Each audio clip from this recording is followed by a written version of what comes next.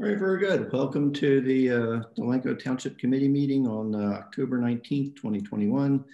This is being held via uh, Zoom remote access on the Zoom platform and normally held at the uh, municipal, municipal Building 770 Coopertown Road in Delanco. Uh, roll call, please. Mr. Brown is absent. Ms. Fitzpatrick? Here. Ms. Holland? Here. Mr. Olet? Is he muted? Mr. Olet? I see him waving. He's muted. Does He's that count? Mr. Let you're muted. Uh-oh, he's trying to, he's muted. Let me see if I can call him. I don't know if He can hear us, I'm- I believe. yeah. Okay, Mr. Templeton? And I'm here, yes. Uh, Also present tonight, Mr. Schwab, Township Administrator, uh, Mr. Heinholder, our Township Solicitor, Mrs. Moore, Municipal Clerk, Mrs. Martin, there you are, uh, Deputy Municipal Clerk, uh, Chief uh, DeSanto, and we have Aaron Provenzano, our uh, Information Technology Specialist. Uh, Flag salute, please. I pledge allegiance to the flag To the flag the of the United States of America, And to the to republic the republic for which it stands, one nation, under God, indivisible, with liberty and justice for all. for all. Thank you. Uh, Sunshine Statement, please, Mrs. Lohr. Please be advised that proper notice of this meeting has been given, has been given in compliance with the Open Public Meetings Act in the following manner. Written notice has been mailed to the Burlington County Times and Courier Post and published in the January 5th, 2021 editions. And written notice has been posted on the official bulletin board of the Township of Delanco at least 48 hours prior to the meeting. This meeting is also being held via a Zoom uh, remote platform. The meeting ID and passcode are printed on the agenda as well as available on the township website and on the bulletin board and front window. And remote public meeting uh, statement, um, advanced public comments will be accepted via written letter or electronic mail and must be received no later than six hours prior to the commencement of the published public meeting start time. Um, the members of the public who wish to make comments or have questions during the meeting, public comment sessions may or have their questions via audio option or by typing their comment or question via the Zoom platform chat option. Um, and the agenda for this meeting has been available on the Delanco Township website, delancotownship.com. Thank you. Thank you. Uh, This evening, we'll start off uh, um, with a public input session on recreational cannabis uh, uses and uh, uh, the zoning and application on how that applies to municipalities across the state, specifically here in Delanco. Um, As you all know, uh, last November, the um, ballot question was uh, approved by the voters of New Jersey and uh, legislation passed through the assembly and uh, the legislature in Trenton and was signed by the governor uh, following that. Um, as of now, there are still um, uh, the Cannabis Regulatory Commission was just established about three weeks ago or so. And so there are a lot of moving parts still in progress. Uh, but right now, uh, there's a deadline of uh, August 21st, I believe, for municipalities to determine um, what classes or categories of cannabis uh, marketing would be permitted in a municipality. And uh, there are some timelines that are set with that.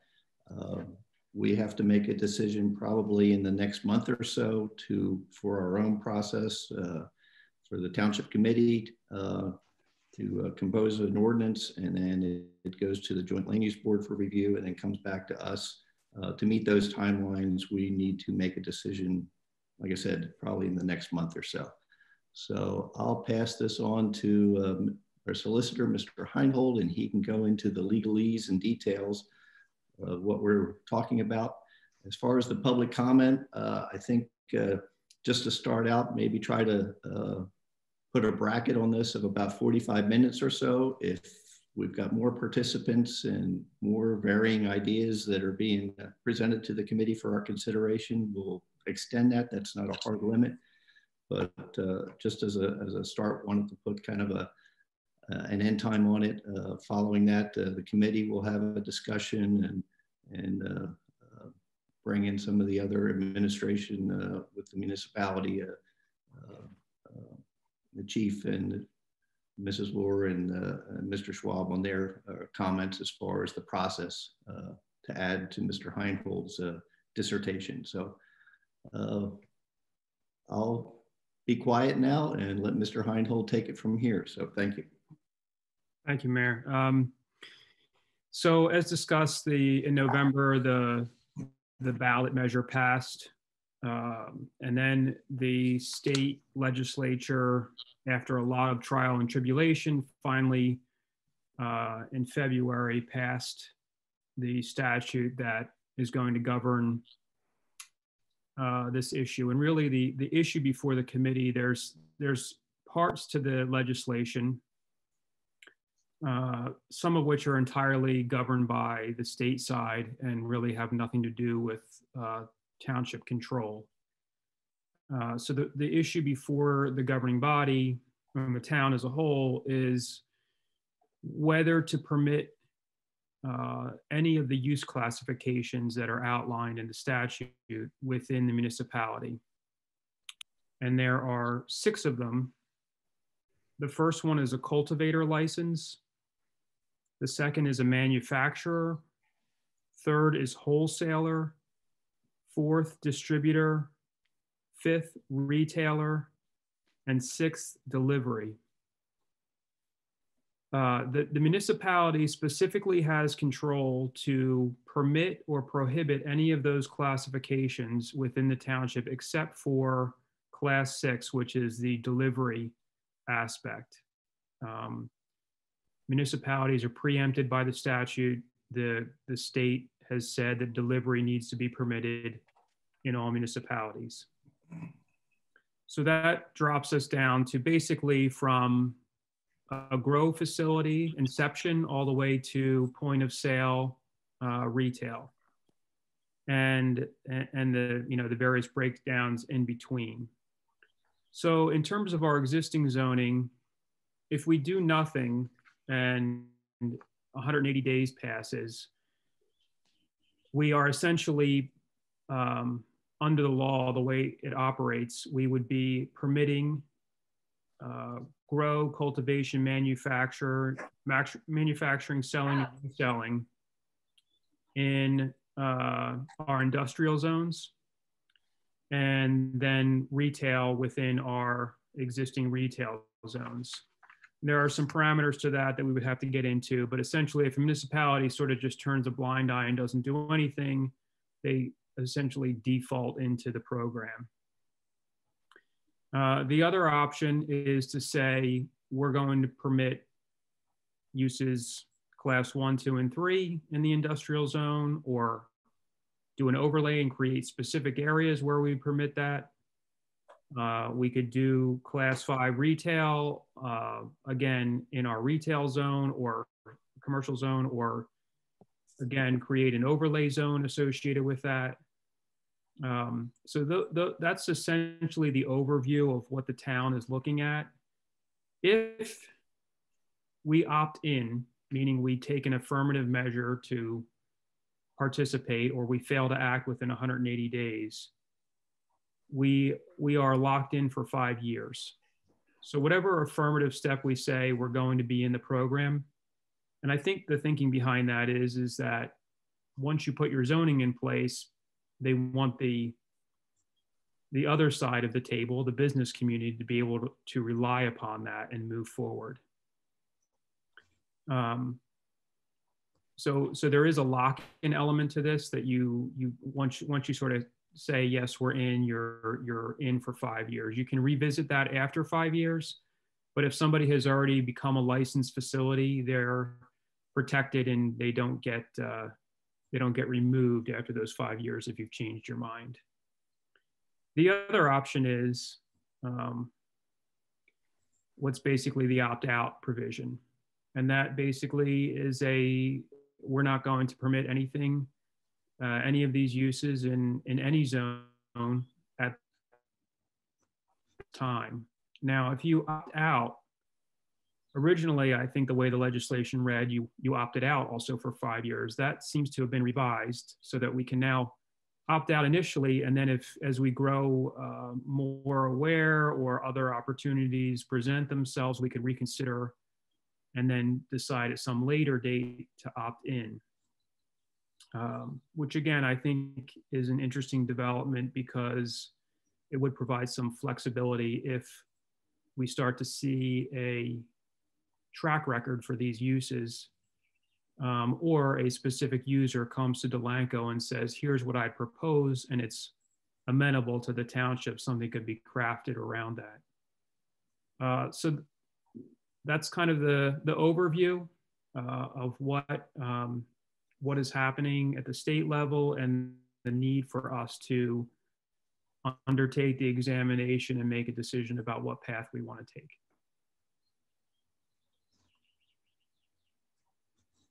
Okay, um, I guess we'll just open it up for questions. Uh, as you um, uh, make yourself uh, either raise your hand in the Zoom uh, platform or get our attention on the video. Uh, we'll call on you, state your name, address, and uh, your point, comment that you'd like to make, and so forth. And we'll try to work our way through and get as much varied and diverse uh, views on this as, as possible. So let's see, Mr. Bartlett in the center of the Hollywood Squares. Good evening, Mayor Templeton. Uh, Matt Bartlett, 1800 2nd Street, Delanco.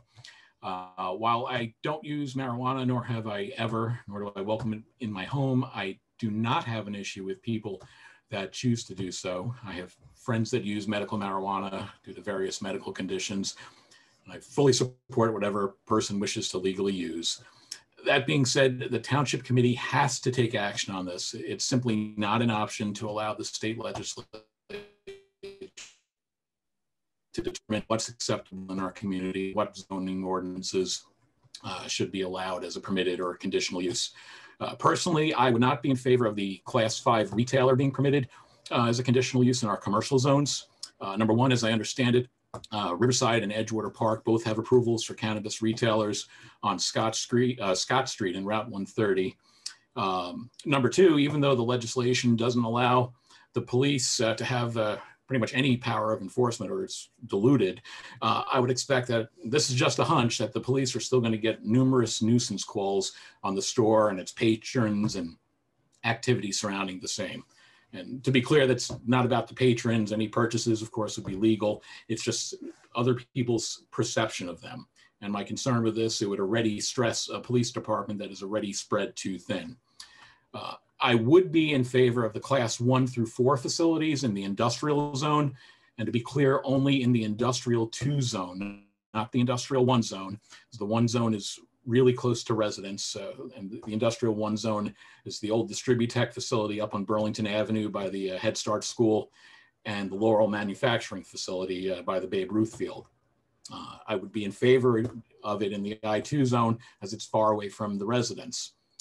If we were to allow a class one grow facility in doing research, it would use a lot of water. Uh, so we should absolutely involve the sewer authority from the get-go to confirm that the system could handle any water.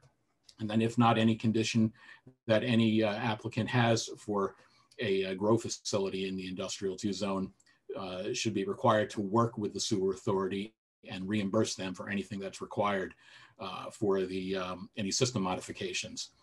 And also if we do have a developer who wants to build any of those classes, under no circumstance we should give them any pilot agreements for them.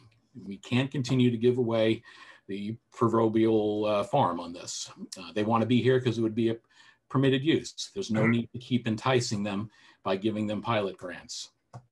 Um, few weeks ago, with all the information posted on the town's website, I posted a simple poll on the residents of Delanco Facebook page. Some of you may have seen it. Nothing scientific, just a simple multiple choice uh, option. Would the residents be in favor of allowing the class one through four in the industrial or the class five in the retail zone or nothing at all?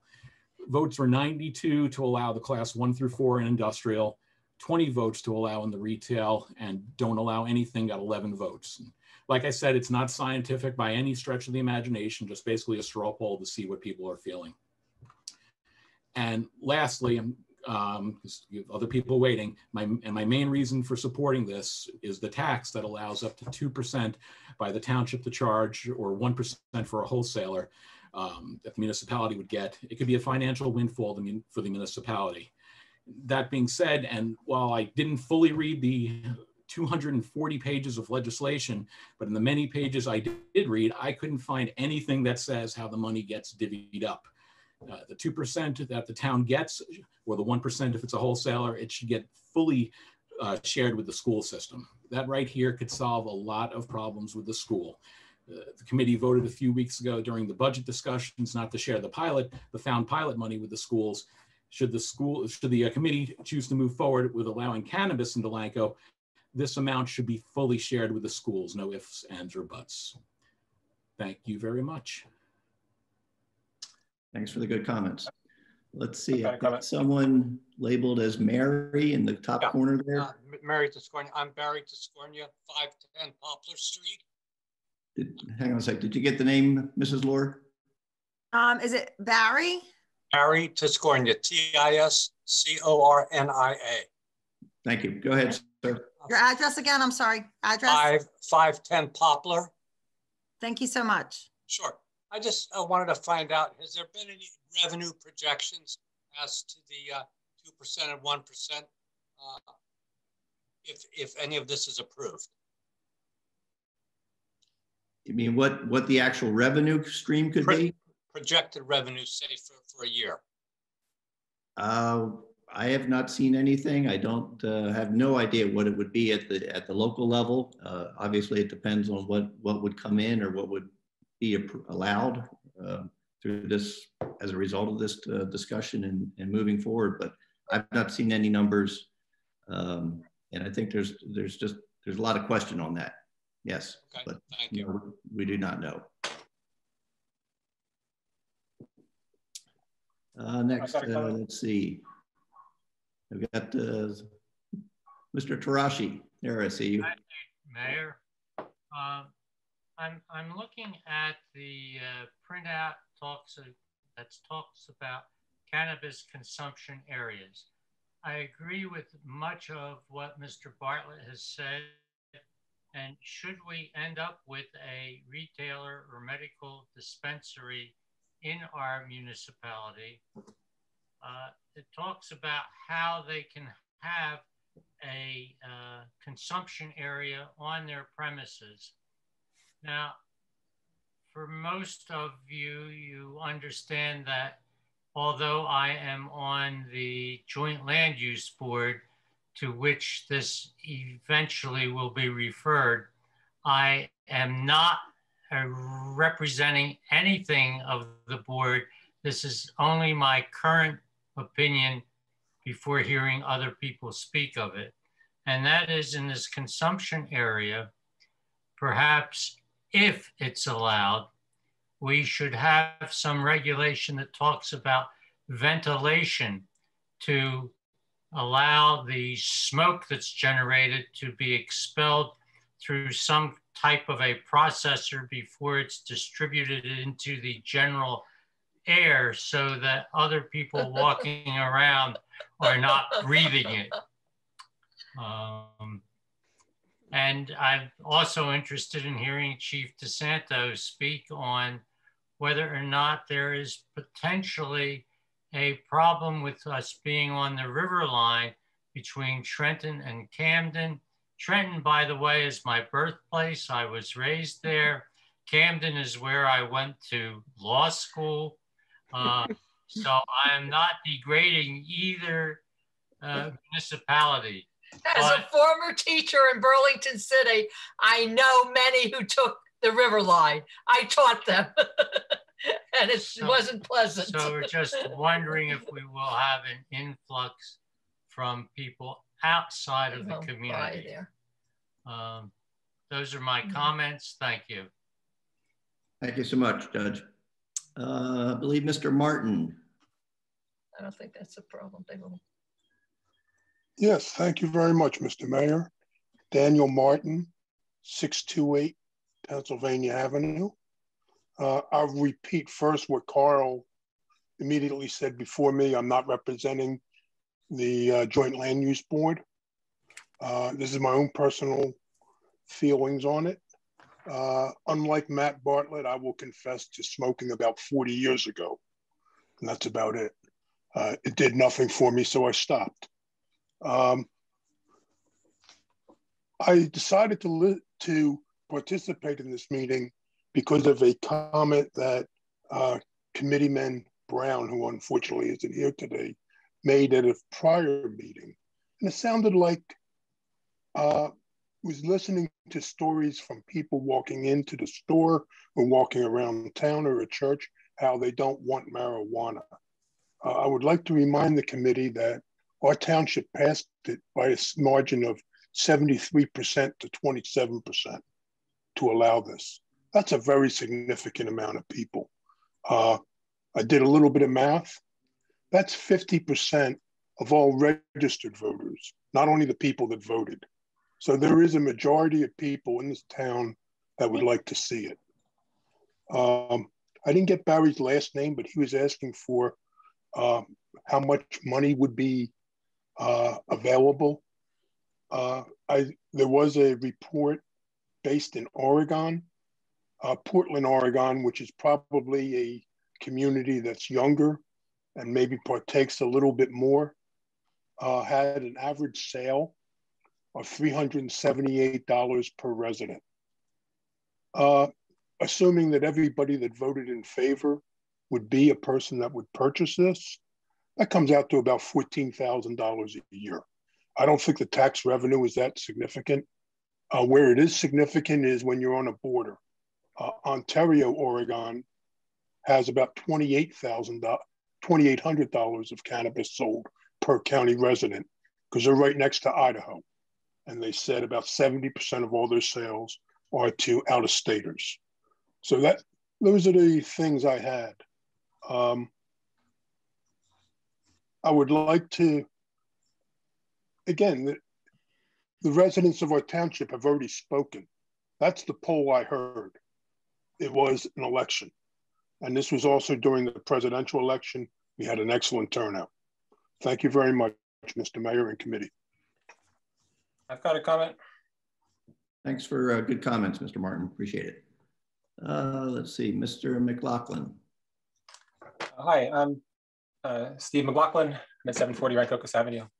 And uh, I'll, yeah, disclaimer, I'm speaking as a private citizen. Um, so for my part, I support uh, allowing um, all, all five classes of the, the, cannabis business that are on the table here in Delanco. So I think that the township committee should do, uh, should do nothing. Think the first four classes, uh, other than retail, are pretty much no brainers. I can't see the objection to those because as a town, we'll get to enjoy the tax revenue and um, it just doesn't seem to be a downside to me. Um, I think that as far as the, the retail issue, I think the misperception that a lot of people have is that a cannabis retail operation is going to be equivalent to a liquor store. And I just don't think that's true. From, you know, from what I've seen in other states, um, it's just, uh, it's more, it's a, essentially these businesses are pretty discreet. People are not going to be, you know, you're not going to have people going in five times a day, hanging out out front, um, most likely.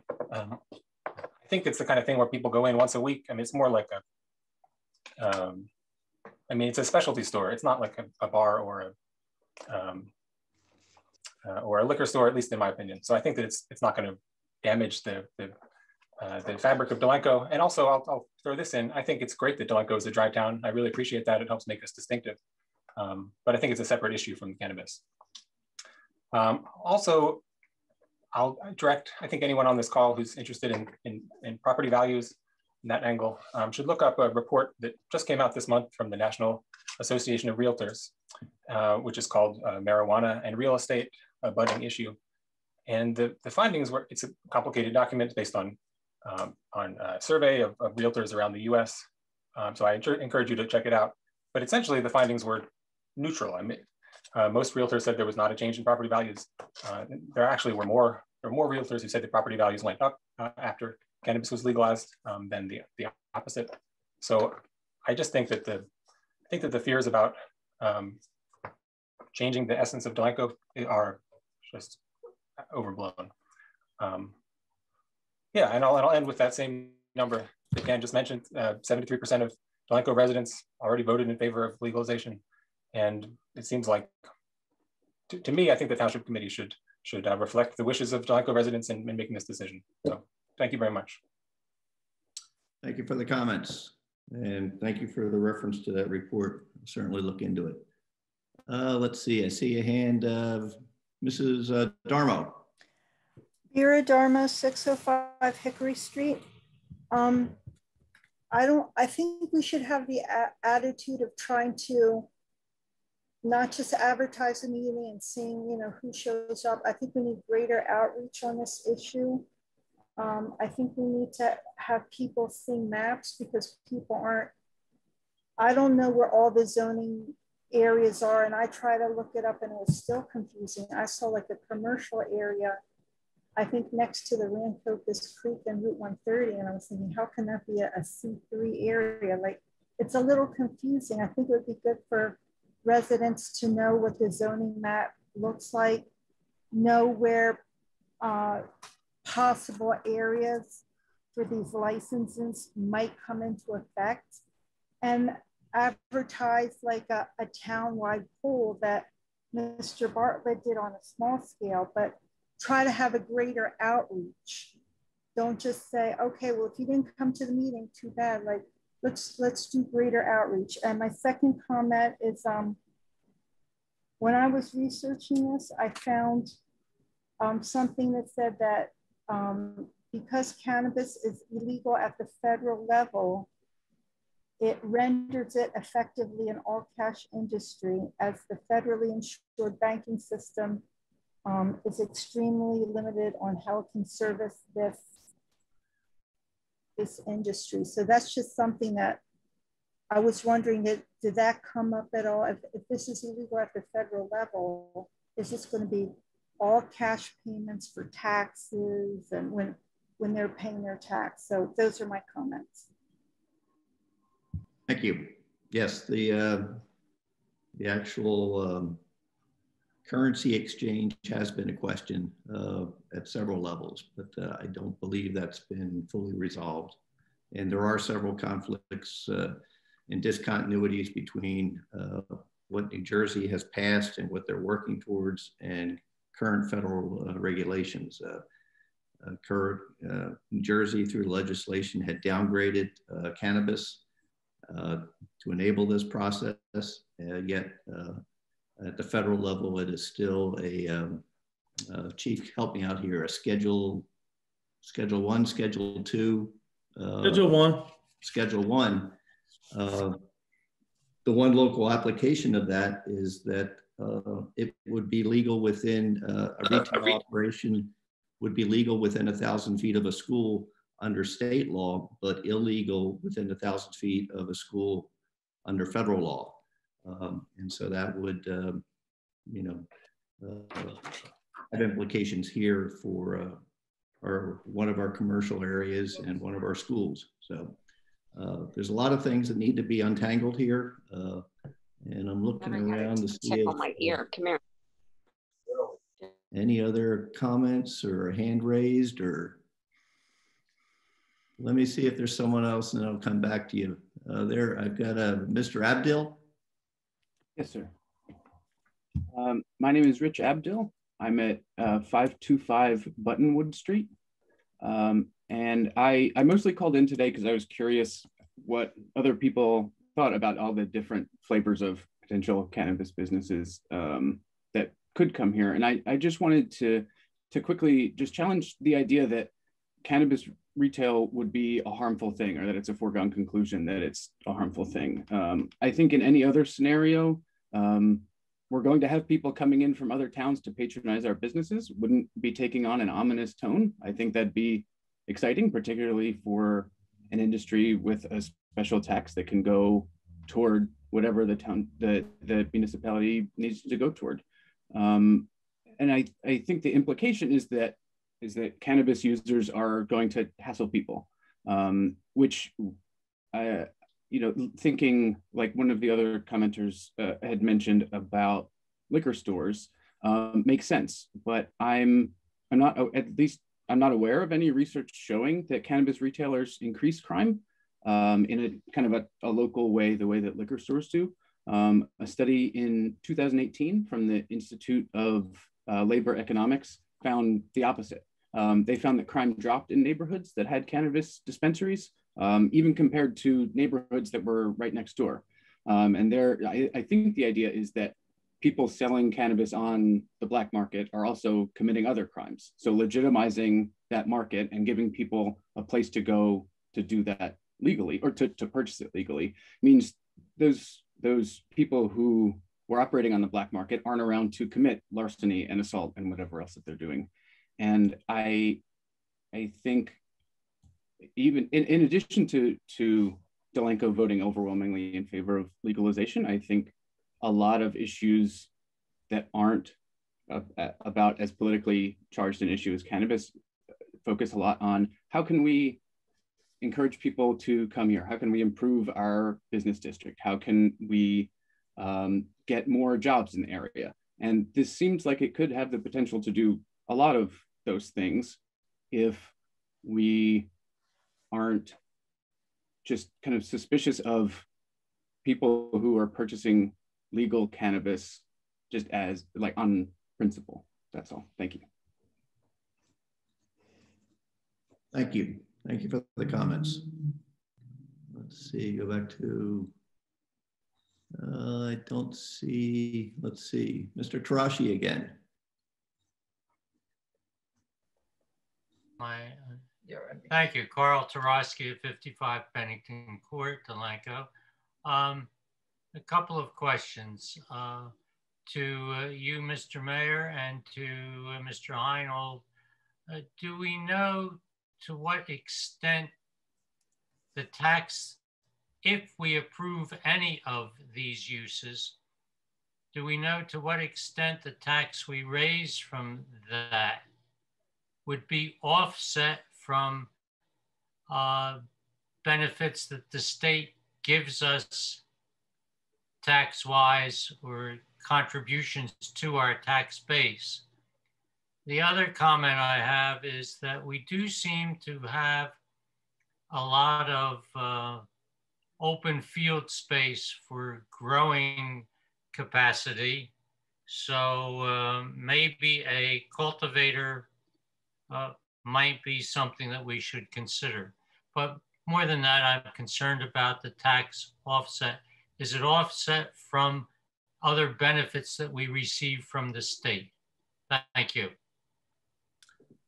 I'm not aware. If uh, Mr. Heinold, Mr. Schwab, or Mrs. Lohr have, have seen or heard anything. I'm not aware of any any offset or decrease or increase in state funding as a result of uh, approval or disapproval of this.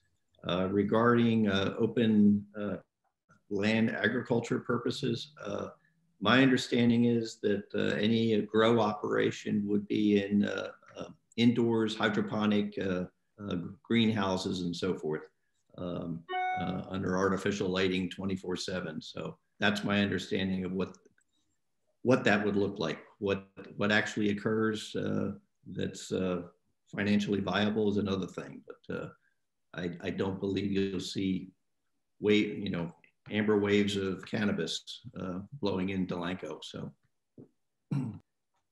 Mayor, if I may ask um, a, a, question be, because of that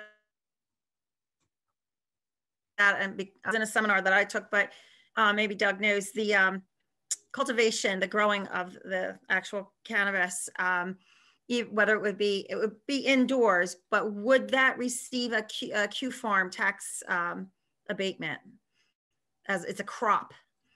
Now, my understanding is finally adopted is that it would not be able to avail itself of Q farm.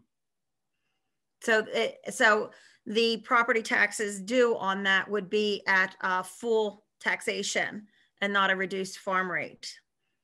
Right. And um, depending on how much uh, occurs at the facility, I would say that these buildings end up looking a lot more like a pharmaceutical manufacturing building than a, a farm.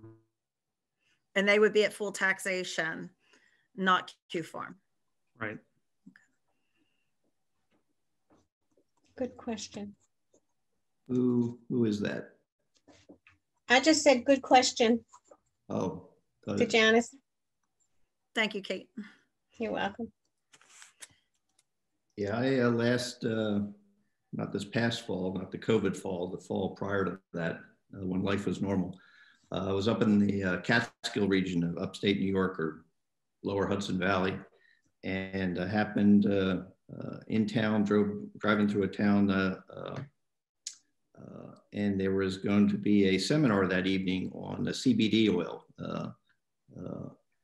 as uh, medicinal. Anyway, um, uh, my wife and I attended that. Uh, about a dozen people, uh, mostly my age and older, uh, amazingly.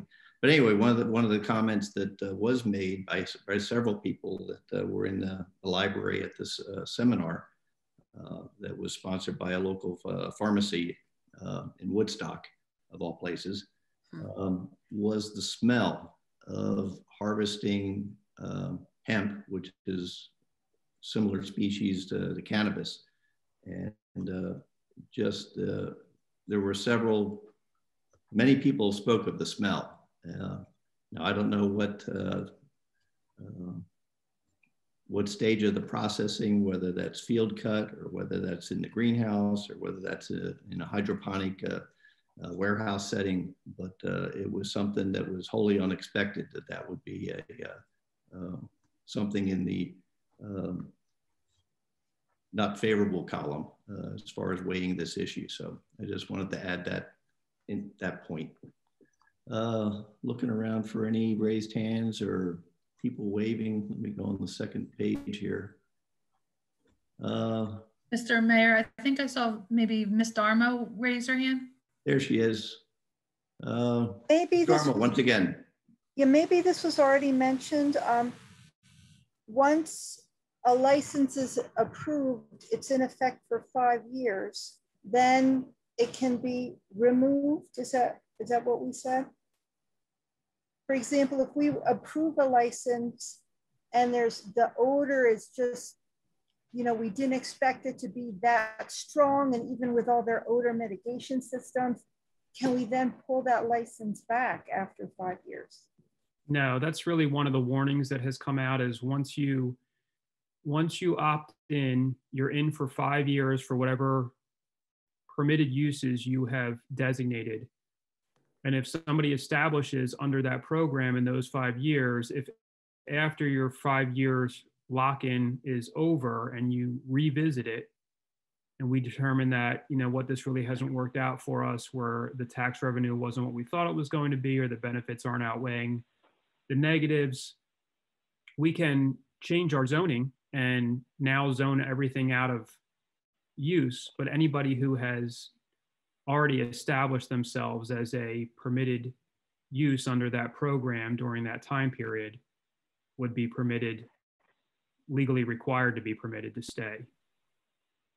Okay, that tells me that I want to move slowly. I want to visit areas in New Jersey that have medical marijuana growing facilities. And um, I just feel like we want to move slowly because of that. And that's my comment.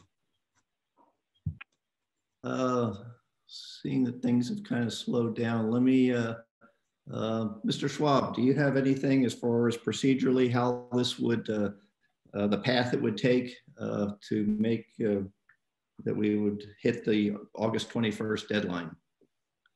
Thank you. I think Doug could explain that, but you did before. The League of Municipalities has provided a sample ordinance uh, to use if you wish to opt out 100%. And uh, their general, I don't call that advice, but their uh, information points out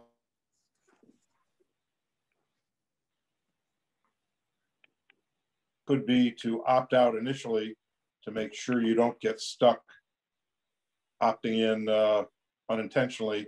And then when, as I think was mentioned before, you've studied how other towns, how it's worked out elsewhere, and the kinks down the line, you, know more information on the finances, uh, what the taxes could bring in or not, or you have an application. There are, we've had half a dozen people contacting us already saying, you know, are you going to allow us to make a proposal? And you decide to do that, then you can uh, put together a, a, zoning ordinance that would permit it or conditionally permit it or whatever method you wish to do to meet your particular needs as opposed to just leaving it wide open. So they're, they're pointing out that if you want maximum control, that's the simplest way to have maximum control. So that's that's my only comment. If we do do an ordinance, as I mentioned before, because it's a land use ordinance, uh, you would introduce, the township committee would introduce it. We would advertise it for public hearing, generally in the following month. But in the meantime, that ordinance would go to the joint land use board, who would then look at it as it relates to the master plan, make an observation as to whether or not it's consistent with the master plan, make that recommendation back to the township committee. Township committee takes that, has a public hearing, similar to what we're having tonight, but legally. And then at some point after that could vote yes or no. And then it gets advertised that it's been adopted or otherwise, and then it becomes effective. If I have that correct, Doug. All right, I got, uh, let's see, uh, Ms. Mattisette, I see you waving there. Go ahead. She's muted. You're muted, Ms. Mattisette, unmute, please. There you go. Can you hear me? Yes. Um, Elizabeth Mattisette, 737 Franklin Street. Um, I just wanted to make a comment on um, what the mayor said about the smell of um, potential growing facilities. Um, I did briefly look over some of the materials that the township had posted regarding this issue, and one was uh, potential environmental impacts of uh, a growing facility. And it did state that smell is the number one complaint about growing facilities. Um, the plants really smell when they're growing, even just um, before they're harvested or whatever. They they they smell pretty strong. Um, so wanted to make wanted to just make that comment that it was in that uh, literature. Um, I would also um, like to point out that it's a heavy water use, the growing of these plants. They're hydroponic. Um, so that would be something that the town would want to take into consideration. Um, I don't know how they dispose of the waters after they're used. Um, and they would probably be fairly heavy, heavily laden with uh, chemicals, fertilizers, and pesticides because I think it is a pretty heavy feeder of crop, especially to get you know the quality of um, the marijuana that they want. Um, and also, if they do build greenhouses rather than a building, the lights are going to be on pretty much 24 7, which I think would adversely impact probably the whole town, but certainly anybody who was living nearby. It's going to really disrupt the night sky. Um, and so, in a along that line, you would also potentially affect um, night flying birds, other creatures that you know are night dwelling if um, a greenhouse was operating 24 7. So um, and I'd also just like to make a comment that if retail um, were to be located in our town, I would think that for traffic considerations that it should be placed as close to 130 as possible. Just because I think we would get business from Pennsylvania. We're pretty accessible, especially with the light rail. So, and that's all I have to say. Thank you. Thank you. Let me just. Uh, Mr. Mayor. Mr. Mayor. Yes, we're who who's speaking? Mayor, this is this is Tom Finan, Oh. 1501 Second Street, Delanco. Good evening, Mr. Finan. I'm sorry. Good evening. Go ahead, sir. Uh, speaking from the sewer, Florida Sewage Authority, uh, we talked briefly about this at our meeting uh, earlier in the week, and the class one and class two, as pointed out by Matt and others, has a significant water usage. And uh, from what I understand, the DEP would be involved uh, to make sure that the level of particulate that went into the uh, sewer system is is within the limits. Um, it's not only the water that's a, a utility that's an issue; it's power uh, um, as well. So I mean, the, the power company would would also have to be involved. But as far as the sewer is concerned, there would be DEP guidance to uh, take care of wastewater, which would be significant in both class one and class two. Thank you.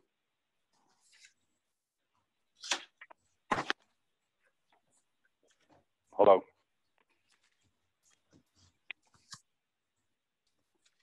As the president of the sewage authority. Thank you, Mr. Finan. Uh, Thank. Let me look across and see if there's any other hands raised. Uh, Mrs. Lord, do you have any comments as far as uh, procedural processes uh, in addition to what uh, Mr. Schwab's comments were?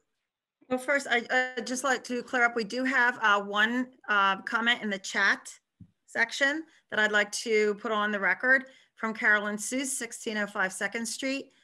And she types, I am for anything but retail. It would be a nice source of tax revenue for the town. Uh, also for the record, we had some advanced comments of the meeting. I'd like to put those on the record.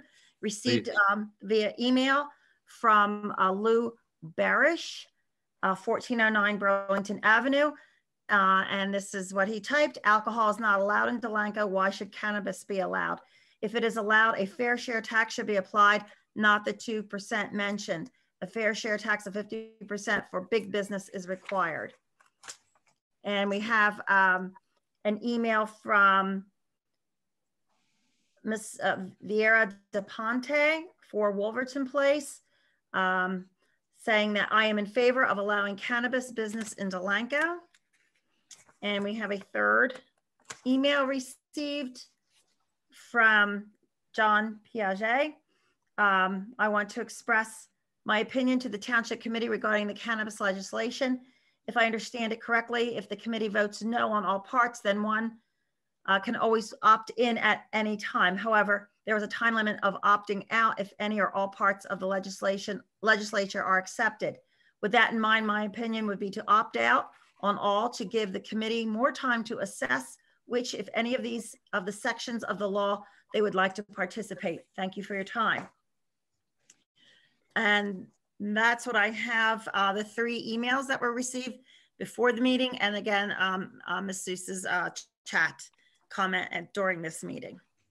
Thank you. And procedurally, just again, there is a time limit um, that if you uh, want do to do an opt-out ordinance or um, provide for specific zoning for um, any of the uses, the, the five or six classifications, as well as zoning designations. There is a deadline to do those ordinances and you have to, the committee has to give itself enough time to introduce it, send it to the land use board for its consistency review, plan, uh, can, a master plan consistency review, then hold the township committee then has to hold a public hearing um, and, um, prior to adoption. So it is a multi-month process and there is an August deadline.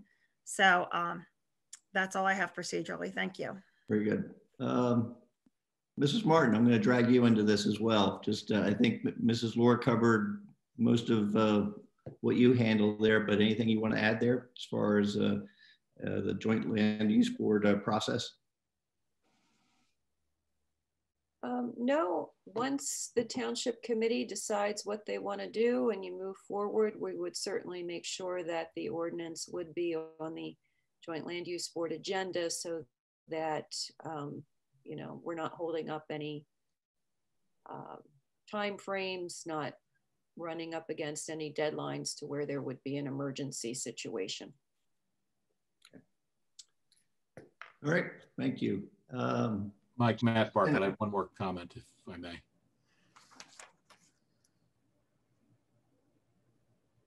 Uh, Chief DeSanto? Yes, Mayor, thank you. Um, the, um, the people have, have spoken, and I'll be full disclosure. I dis- disagree with the uh, decision. Uh, 32 years of law enforcement has exposed me to all different um, people involved with, you know, marijuana and different types of drugs, and and uh, I see a correlation to experience, but uh, the people's will is what the people's will is. So this brings me down to what our question is. Uh, the biggest obstacle it's going to be for law enforcement regarding the legalization is going to be one, and the most important one, which I don't know if anybody's really thought about, is traffic fatalities and traffic accidents as a result of being under the influence. Right now, there's no real technology to detect if you're under the influence at the time of the accident. There's technology to determine whether there's um, marijuana or cannabis in your system. And that's just going to open a can of worms in terms of uh, court fights and court battles. So some type of um, uh, technology is, is, I guess, commercialized and sold. Uh, in you know, Colorado, their fatalities nearly doubled, which involved marijuana. Um, so uh, that's something of unintended consequences that I don't know if people really thought about. And it's been very difficult with marijuana being legal for law enforcement to actually enforce under the influence, uh, just based on detecting odor. Because the Attorney General has placed strict guidelines on reference to how to conduct searches and, and stops based on the odor of marijuana. Um, so that leads me to, I think it's not best to have a retailer. Um, I think a cultivator is something that, uh, in my opinion, may be looked at. And my my philosophy would be is, you know, why tax the little dealer? Go for the large, um, the large corporation that's going to be doing all the sales, and you get a larger amount of money if you're going to do this. Um, you know, like I said, if it was up to me and I made my vote, I don't believe we should get involved in this. Uh, the idea of collecting taxes on it for the benefit of the children uh, kind of is contradictory to me. But um, like I said, I, if you're going to look at something class one, class two is is my objective, you know, professional opinion of uh, something you would possibly open anything to. But anything beyond that, I, I you know, I wouldn't. So that's, I guess, partial, you know, public safety view and a personal view mixed together. So I did my best to try to separate them. Thank you. I appreciate uh, appreciate your uh, years of professional uh, experience and uh, passing that on to us. So thank you, Chief. Mayor, yes. we have we have in the chat uh, section a question from Liz Mattisette. What is the time for submission of written comments to the Township Committee regarding this issue? Thank you. I don't know that we've we've set an outer limit. Uh, we'll be considering this. Uh, I guess we'll have to be making a decision in the next meeting or two in May. Yeah. And uh, uh, to, to keep on a timeline if we want to hit the August 21st uh, opt-in, opt-out date uh, to preserve all our options. So uh, up until, let's say, the first meeting in May, which is, when is that? May, May 3rd. May All 3rd. right. Put the outer limit there for, uh, for comments from the public on this. So, And there also will be an opportunity, once the ordinance is introduced, there'll be public hearing and people can, that's true. um, will be submitting uh, comments and questions uh, for that public hearing. And under, you know, people can submit comments and questions and letters to opinions at Township Committee anytime. All right, last question, Mr. Bartlett. Yeah, just uh, real quick. Um, my thought is instead of you know opting out now, I well, I suggest you pass some sort of ordinance now. If you opt out now and then a year down the line, like um, someone mentioned before, a couple people mentioned, you know, it's going to be established at that point, there's not going to be any desire to come in here. So if I guess as the saying goes, if you want to get in on the ground floor, you know, now is the time to do it. Well, if uh, someone wants to come in here and build something, if you're waiting a couple years down the road, you know, might not be interest. Okay. All right. Thank you. Thank you. And two more questions, and then we'll go to the uh, the uh, committee comments. I think I had one from. Uh, let's see. Mr. Martin? Where are you, Dan? Uh, yes, thank you again, Mr. Mayor. Uh, I have a question regarding the timing or the time frame for the Joint Land Use Board to review for consistency with master plan. Uh, I'm looking at our meetings and our first, our next one will be the day after the 3rd or May 4th. Uh, so that gives us one day to get all the information uh, to us. The next one would be on June 1st, uh, which is before the next, before the first June Township Committee meeting. Do those deadlines, do our de uh, meeting schedule meet the uh, technical deadlines? Yeah, Dan, what's traditionally happened in Delanco because the board meets the night after us is if something is introduced on the first meeting and the board needs time, it has time under the statute to carry it to the next meeting. We just have to push out our second reading until we get your feedback. That's and that would be uh, June 7th. So does that if, work? Does that meet the uh, time Yeah, frame that they've established? That would be well within the time frame. Okay. Um, if we if we introduce mid-month, then the board would have it for a couple of weeks, and that has traditionally been enough time. But again, if there's if the board needs time, I think the committee has generally uh, been amenable to to allowing whatever time is needed for that review to occur. Technically, uh, it's like 35 or 45 days under the statute, but we've never had an issue with it in Delanco. Thank you. Thanks, Mr. Martin. Uh, I've got a text that uh, Mr. McFadden has a question. I don't see him in the window here. Yes, I'm here.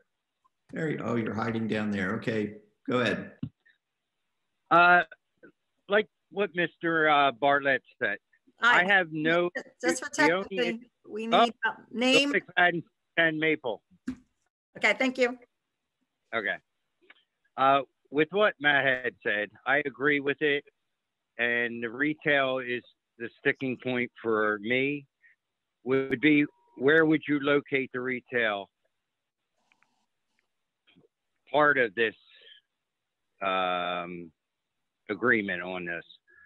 Because the only place I could really think of would be in the 7 Eleven area. And I think that's mostly where our youth hang out. And I, I would have concerns about that.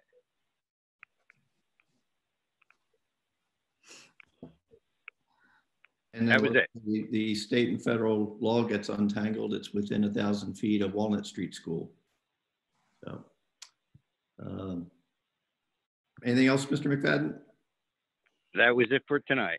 And last question, I think I had a saw a hand, uh, uh, Ms. Tursich Keeley. Yes, hi, uh, Catherine Tursich Keeley, 750 Rancocas Avenue, speaking as a private citizen. Um, I just wanted to point out, uh, the chief mentioned that there's an increase in traffic accidents. There's actually studies that have been done that show that there is no increase in traffic accidents in states that have legalized cannabis. Um, in one state, there was a short uh, period of time where traffic accidents increased, but um, it has since gone back down. So just wanted to state the facts on that particular issue. Can I have your address, please, for the record? Yep, I said 740 Rancocas Avenue. Thank you. And I'm just to, I guess, cap it off. I'm pro businesses. I don't like smelly things, so I don't necessarily, or and I don't also like the idea of the farming.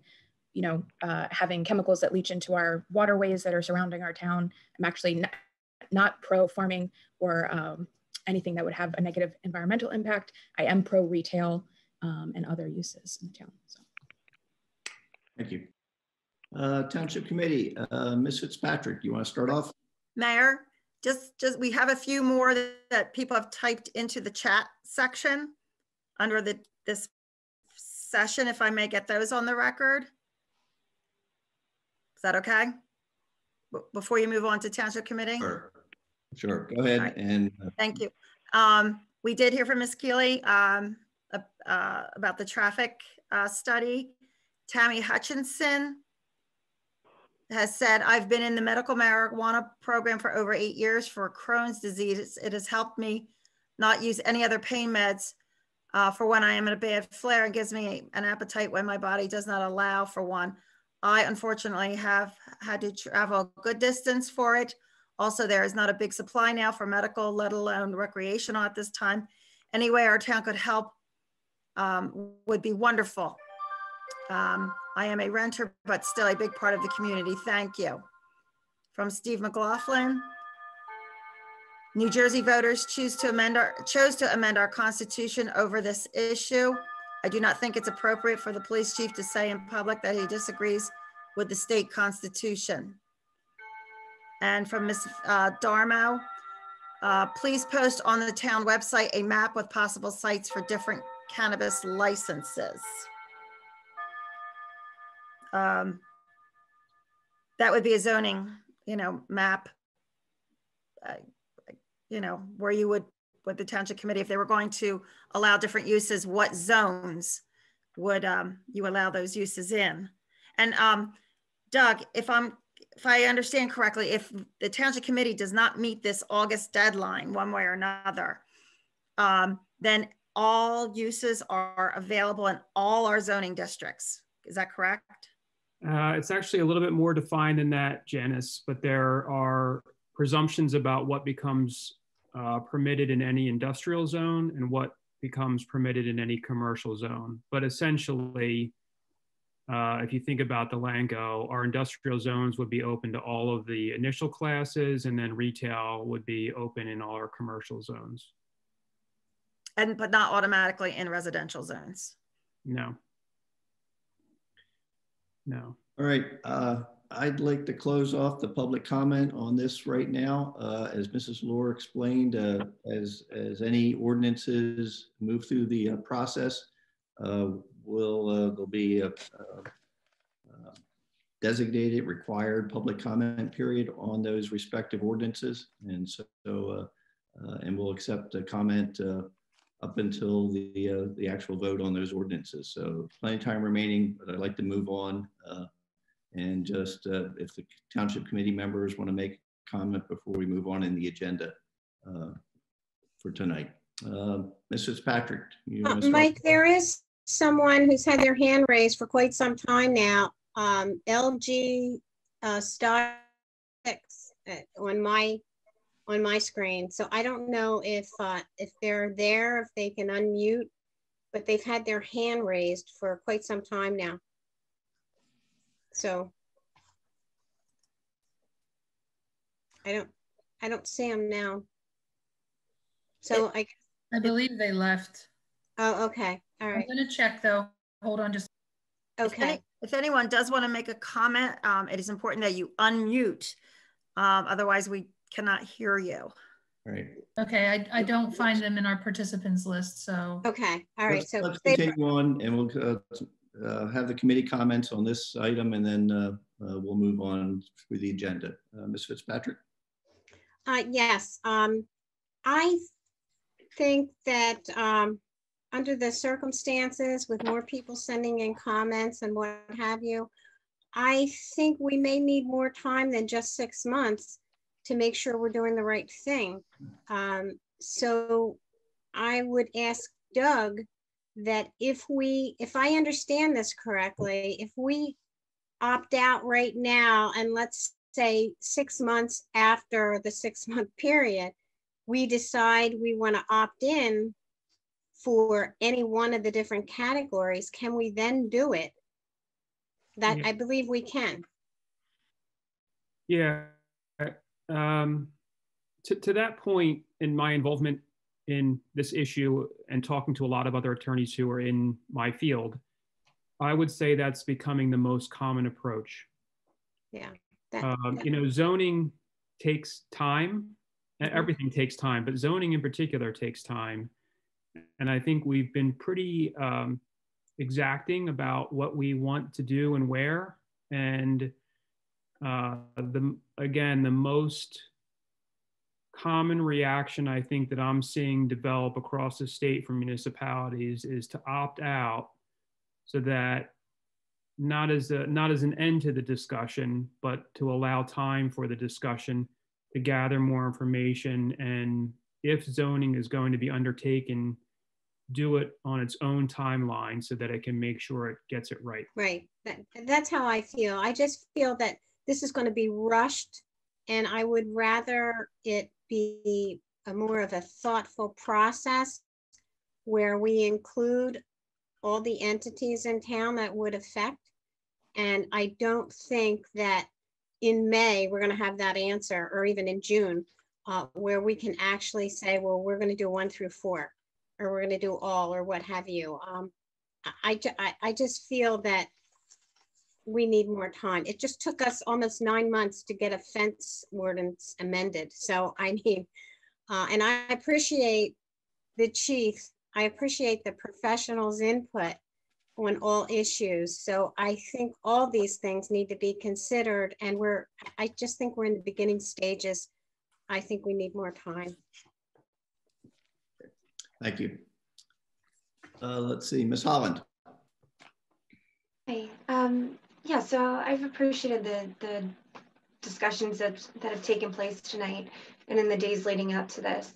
Um, it definitely can't be ignored that our residents did speak um, by voting that they would like to see this legalized in town. Um, but as the governing body, it's our responsibility to govern responsibly, to take their input into consideration and make thoughtful decisions. So to that, I agree with Kate, we need to proceed cautiously certainly not allow a blanket approval for all of these licenses or all these classes.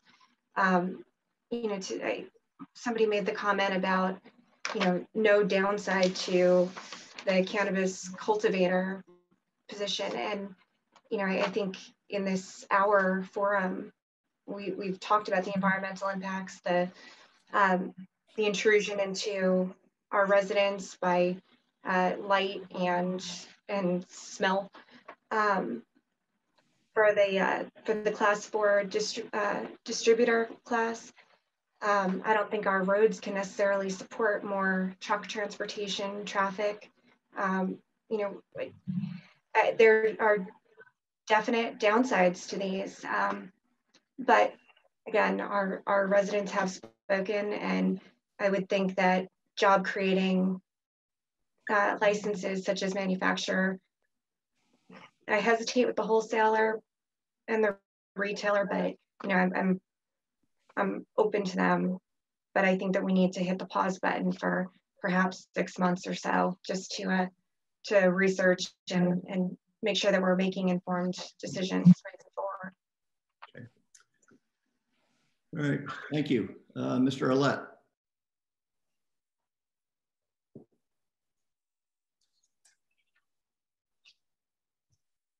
Turn audio mute. Mr. Let you're muted. There he goes.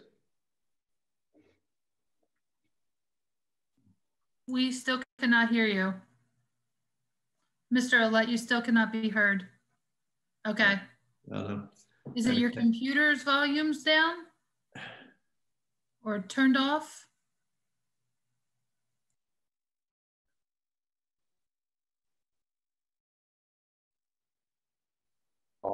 Yeah, we're not getting anything out of them.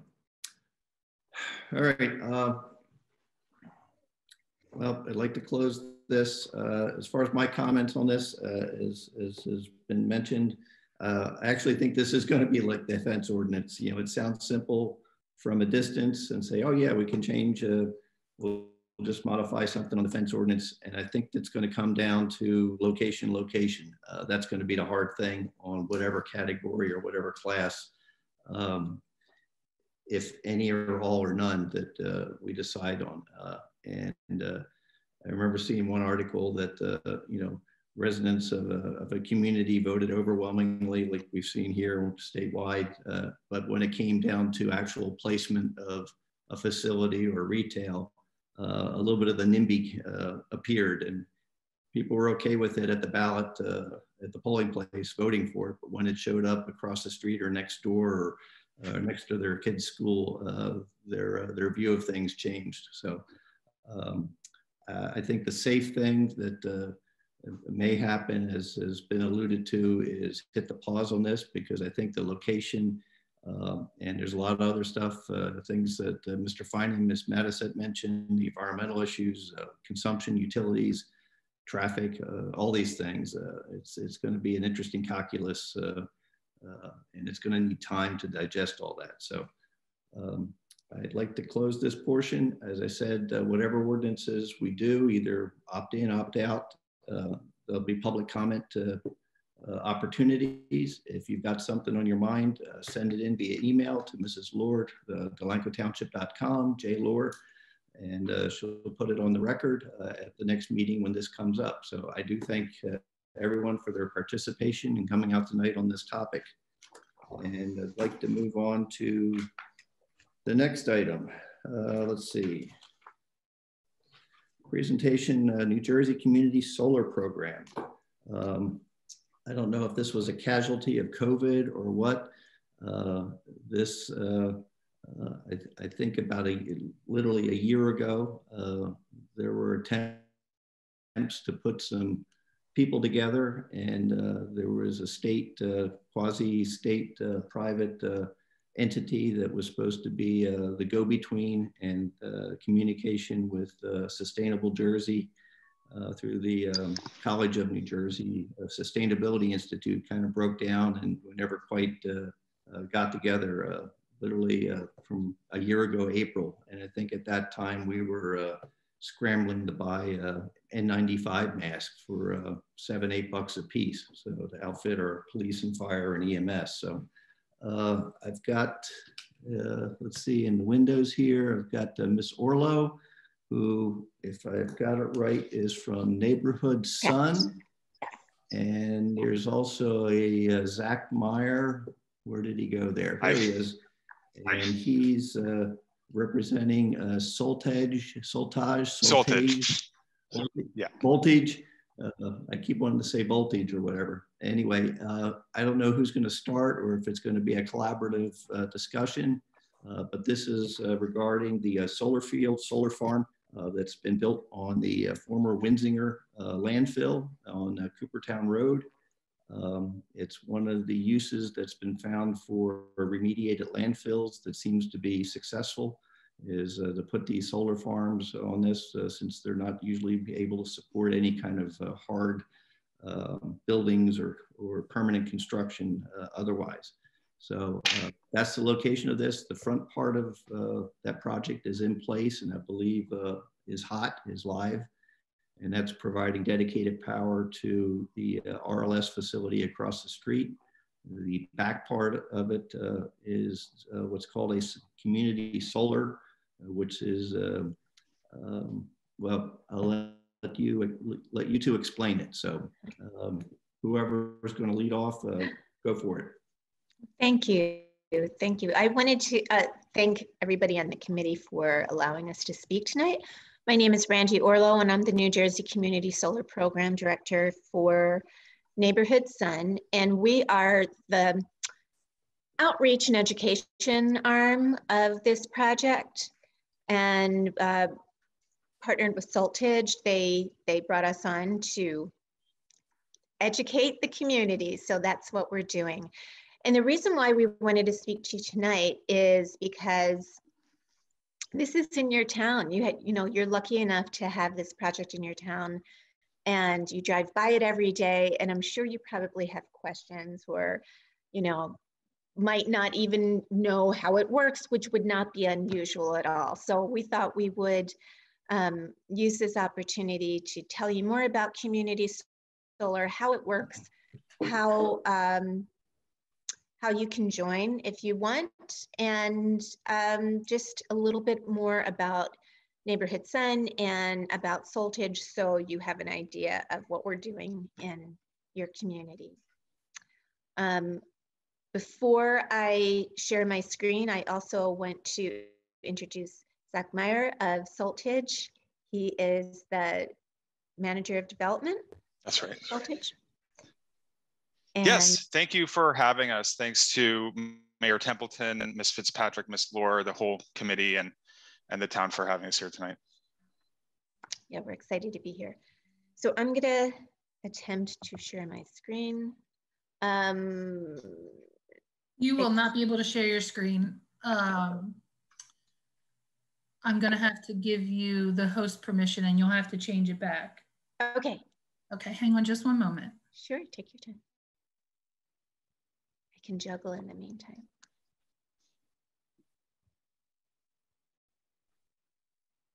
Okay, you are all set. Great. Now I just need to find uh, me. Why am I not seeing? I'm not seeing my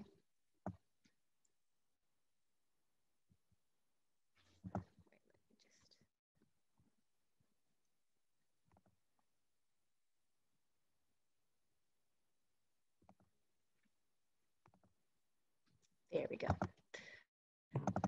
All righty.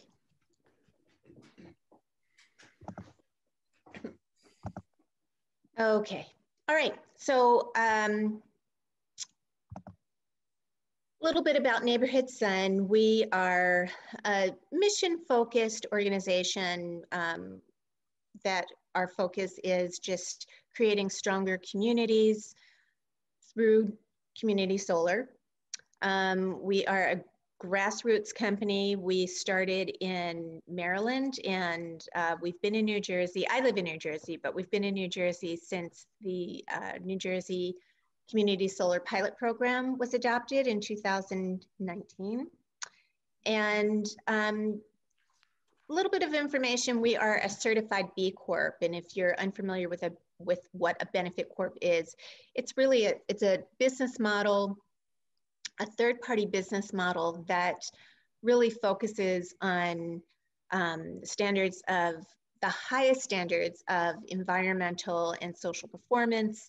Um, it's really something where it been the the purpose of each company of a benefit company is to just do meet the greater good for everyone involved. So um, one thing that I just definitely want to say because I'm super proud of this is that B Corps, it's an international organization and um, we're, we're rated every year. We, we're scored every year based on our performance of transparency and our commitment to the communities that we serve and um, the environment. And we have a score of 130.5 which makes us the leader out of all the community solar companies um, in the United States. And it also makes us a leader in the entire B Corp community with um, one of the highest scores. So just really proud of that. So I'm going to turn this over uh, for to Zach so he can tell you a little bit about Soltage. Sure. Um, so Soltage is the owner and manager you know, of this facility, as well as the directly adjacent one that Mayor Templeton mentioned serving the, the next door um, RLS cold storage facility. Um, we were founded in 2006 in Jersey City, New Jersey. We now have over 300 megawatts of solar assets across the US in uh, 15 states and growing. Um, I don't know if, you know, uh, makes the most sense to read every bullet point here, but we um, you know, we've we've started kind of in the Northeast and in our home state of New Jersey and have expanded.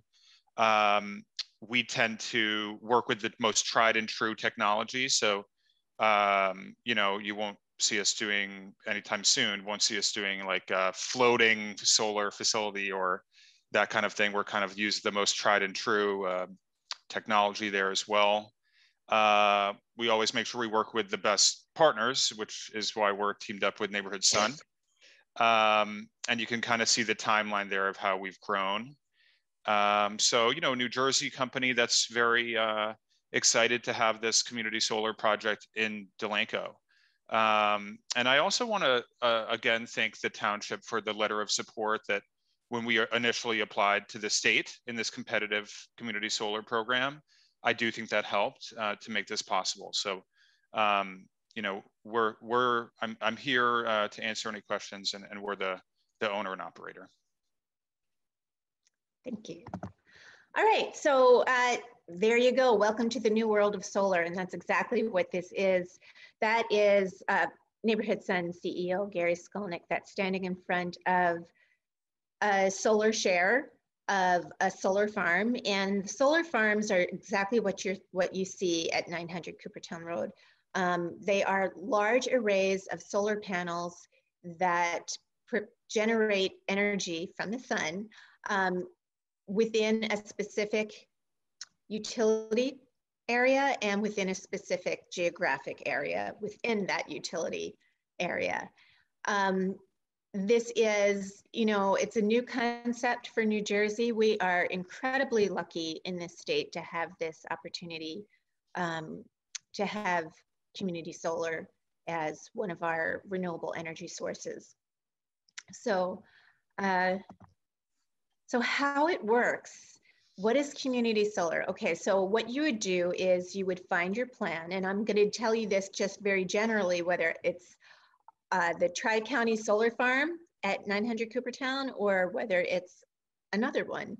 Um, but you would find your solar plan, and what happens is you're given a share for, of the solar farm. So it's kind of like a CSA where, um, you know, a, a community what is that community service uh, agriculture. Yes.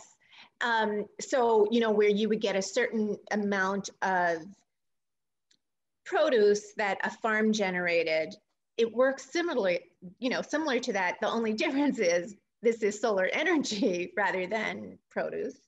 And um, the big difference is that you don't have to pay for your share of the solar farm unlike with a share of a CSA where you do need to give them an upfront payment. There is no upfront payment for this. So you would find your solar plan and what would happen is when you sign up, you're gonna, you would tell us um, what your PSE&G number was. And that way we can call PSE&G and ask them what your historical usage is for your electricity, what your electricity usage is. And that helps us determine what size share of the farm you would get. So in other words, if you live in a one bedroom apartment by yourself, then your share is going to be a smaller share than it would be if you lived with eight people in a six bedroom house. Um, I live in a condo, but I have electric heat. So I would probably have a greater share than somebody that might live in a four bedroom house that doesn't have electric heat. So it just, it all depends. Every, every household is different. Um, but that does help us determine whether you would get a half a panel or a full panel or five panels or whatever it is. And so the energy that those panels or what your solar share generates from the sun is going to go into the grid. And um, when that goes into the grid for PSE&G, they have to credit you. They're going to reward you or credit you for putting energy into the grid rather than using dirty energy um, from fossil fuels. So you will receive credits, what they call solar credits on your electric usage bill. And, um, and then on top of that, you would get a discount, a 10% discount on top of that uh, once you were billed by Neighborhood Sun for your solar share. So, or for the, the, uh, you would actually be billed for the, the amount of energy that your panels generated, which is going to equal um, the solar credits, and you would get a discount on that. So your, your bill will always, always, always be 10% less than it would be with community solar than it would be without community solar. So before I go on and tell you more about the community solar program, I want to just have, he made this very easy for me, but Bill Matt from the Environmental Planning Board, um, he was actually one of our very first subscribers for this um, project. And I asked him, um, Zach and I asked him if he would join us tonight just to address, you know, the project and how he feels about it and why he decided to become one of the very first um, subscribers. So if you're here, Bill. Still here. Okay, there you go. Most of you folks know me. I've been in town about 30 years now. Uh, I'm a member of Shade Tree Commission, the Environmental Board, and the Planning Board. I've been looking to do something sustainable with my energy usage for years. Solar looked like a natural, but I couldn't figure out how to do it. A, I didn't want to put uh, any panels on the roof of my 110 year old house because I didn't think it could take it. Secondly, I love trees, as most of you know, so I didn't want to cut any of my trees down. So when I finally saw this email came through from the South Jersey Sustainability Network, it didn't come from solar folks. It was a referral from Ed Cohen, who's president of South Jersey Sustainability. I jumped on it. In fact, I couldn't believe how few people had actually signed up for it yet. It seemed like a natural to me. A, you're getting local electrons. You're not getting power from who knows where. In fact, if you look at my background picture, that's a coal mine in central Pennsylvania. It's a big open pit, which is where all our power used to come from. PSE&G used to burn a lot of coal and oil. This helps us avoid that. It supports the microgrid theory where by compartmentalizing your energy, it's less susceptible to things like hurricanes and whatnot. And it's going to be cheaper. So it seemed like a win-win-win in all aspects for me. So I forwarded the, uh, the information to a few friends of mine in town. Actually, I'm surprised how few of them bid on it. But uh, I think a lot of people were burned in the past by a lot of these clean energy providers that basically sell you wind energy or something from out of state and then do some math with your power bill to give you a uh, credit. Sometimes worked out, sometimes it didn't. This looks like it's uh, straight 10% credit all the way down. So I don't see why anybody wouldn't do it. Great. Thank you. Yeah, it's it really is a wonderful program. There's about I think Zach is it about 14 states in the United States that have programs. Some more I think it's than even others. I think it's even a few more now. There there's different kind of varieties of community solar around the country, but yeah, it's it's really a growing actually the the fastest growing segment of solar uh, in the U.S. And the reason for that is just, and Bill alluded to this, is that not everybody can get the um, can get solar panels for a million different reasons. So, uh, and we'll get to this slide in a minute, but about 80% of people cannot get solar panels um, for one reason or the other. Could be that you live in an apartment building. Could be that you uh, your backyard is too shady, or you have an old roof and you aren't able to replace it, or you live in a condominium. There are so many different reasons why people can't get or might not want. Maybe it's, uh, you know, a financial issue that they just don't want um, solar panels on their home. So community solar was really born um, or really adopted by the New Jersey Board of Public Utilities, who regulates um, the community solar program. They did it for two reasons. So one is to um, help New Jersey realize Governor Murphy's goal of 50% renewable energy by 2030 or 100% renewable energy by 2050, which is sounds like a lofty goal, but wow, we're doing a lot of great things in this state. So um, I hope we get there. I hope I am around to see it. Um, and then also, and more importantly, to address to address the environmental, energy, and economic injustice within our most underserved neighborhoods, our most underserved communities. And so community solar basically allows everyone the it enables everyone the availability of solar energy, regardless of the dwelling that you live in, regardless of your income, regardless of where you live. Um, everybody can have the benefits of solar energy. Um, the New Jersey program, um, this is a pilot program. We just are ending the first year of the New Jersey Community Solar Pilot Program. And in the first year, approximately 77 megawatts of projects were approved in year one. I don't know how many actually were built. Do you know that, Zach? How many of those? I think most of them are, are going to get to the finish line. We are a little bit ahead of the curve.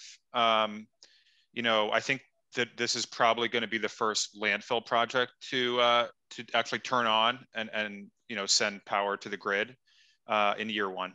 But uh, you know um, the the rooftops, I think a, a, number of the rooftops have already turned on, and and you know we're right. kind of moving along.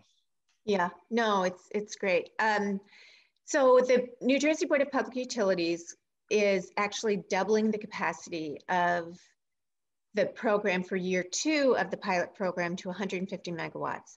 So um, even though this is a new concept for New Jersey to take in right now, in a very short time, I think everybody's going to know about community solar just by virtue of seeing these farms all over the place. And the farms, again, are either, you know, they're on brownfields, they make good use of brownfields. They can be on industrial rooftops, as Zach just mentioned.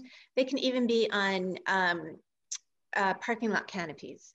So there's, you know, we're making good use of surfaces that wouldn't be used for anything else. So this is really important. Um, again, subscribers get full retail for their solar credits through net metering. And uh, New Jersey really encourages projects that serve low and moderate income subscribers for the reasons that I had mentioned. You know, we're, we're really forging ahead with um, trying to just build a state that is based on energy and, uh, and environmental equity. And uh, let's see, let me go to the next slide. This is what I was saying, 80% can't install rooftop solar for one reason or another. Now everyone can participate again, this is kind of what of what different um, shares might look like on the solar farm. And so the Tri-County Solar Farm, we named it the Tri-County Solar Farm because it, it serves three counties. So it's PSE&G customers in Burlington County, Mercer County, and Camden County. It's a 3.1 megawatt project. You know where it is. It's on the closed landfill um, on at 900 Coopertown Road. And all subscribers now will receive a 10% discount on their PSE electric usage bill. And that's guaranteed for 20 years. Our contract is a 20 year contract, but that guarantee is protects you as the subscriber um, you know, it's not like we can come back six months from now and say, okay, we decided to change the amount of the discount. Moving forward, it's only going to be 5% or it's nothing. Um, so that is, that's very important. Also, what's important is that to note is that this is a discount on your electric usage bill. So it's primarily for your um, delivery and service charges. It's not going to be on any fixed charges. It's more of the, the variable charges. There's no fee to enroll. So unlike the CSA, you don't have to pay in advance for your share of the farm. And if you wanted to cancel for any reason, actually people don't cancel, but if you did want to cancel for any reason, um, there's no cancellation fee, there's no hassle. We're not going to say, sure, give us 500 bucks and, you know, we'll cancel it. It's, it's a pretty easy process. And even better, if you're interested in, if you move and you move within the PSE&G territory, you can actually take your share with you. So you would just, you know, it would just be a matter of calling us and saying, I'm moving, um, here's my new address, and then we would resize you eventually. But um, it's also a good, you know, if you're selling your house, you can use that as a sales tool to just say, hey, you know, the house comes with um, a solar share and then, you know, we would just transfer the, the share into the new owner's name. Or if you're renting your house, it's a featured, um, you know, they that it would come with the solar share, which would be an automatic discount on their electric usage. There's nothing to buy. You don't have to install anything. You don't have to rent anything. There's no equipment. There's no wires that are going to go directly to your house, but you will be responsible for putting clean energy, for putting clean renewable energy from a local source. Can't get more local than where you are, right into the grid. Um, this goes on to say basically everything that I told you. And let's see. And so this is, you probably haven't seen, unless you're flying helicopters around the neighborhood, you probably have not seen this view of the farm. And, and this is the aerial view. Um, and it's really, I have to say, I was uh, telling someone earlier that it's really cool when you watch it, watching it get built. I, I went to the farm at different stages of construction and it really does look like what you would imagine a solar farm to look like or a solar garden. Sometimes they're called solar gardens, but you know, it's just this plot of dirt. And when they start putting the poles in, it really does look like solar panels, you know, are growing out of out of the dirt um, and creating this pretty impressive solar farm. So that's what it looks like now. And another thing that we wanted to mention is that uh, one, you know, we have various ways of spreading the, the word about community solar and letting people in within the community know uh, what projects are happening. The, the method that we, that is our preferred method is to develop community partnerships um, with nonprofits or faith-based groups or municipalities, um, civic groups. And what we do is we collaborate with one another and we, we provide all sorts of marketing materials, anything that an organization could need. And they help to amplify the message about a project. And they tell their constituents, their members, and anyone who signs up through that partner, uh, Neighborhood Sun makes a nice donation to that partner, to that organization. And we typically give a gift card as a thank you to the person that subscribes. So we'll get, we'll talk about that a little bit uh, further down um, because um, we have presented something to um, Mayor Templeton about understanding that we can't necessarily, that Delanco Township can't necessarily be a partner, an official partner, but we, what we would be willing to do is um, give Delanco their own URL and anyone who signed up using that URL, which would bring you to the Delanco landing page, we would make a $200 donation so that Delanco could use um, for each person that signs up, we could make that they could use that donation towards an organization um, within Delanco. So we would just need to know what that one organization is that you want to earmark, and then we would make a donation. In addition to that, we're giving, we're rewarding everyone for being good environmental stewards by um, giving you, a, giving all subscribers a $100 gift card uh, to, it's called a Tango gift card, and it's good for about 80 different major retailers. So it's just our way of saying thank you for um, being part of this program and uh, taking the initiative to do something really good for your community. These are some of the partners that we have in New Jersey. And this is what your bill, what your PSE&G bill would look like. It has the solar credits right here. It's going to be, you know, tell you exactly um, what, how much energy your, your solar share has generated. And so you'll see your bill, especially if you have um, you know, everything is powered by electricity in your household, you're going to see your bill drop pretty significantly. Uh, typically, a share will cover it's between 50 and 95% of your electric usage.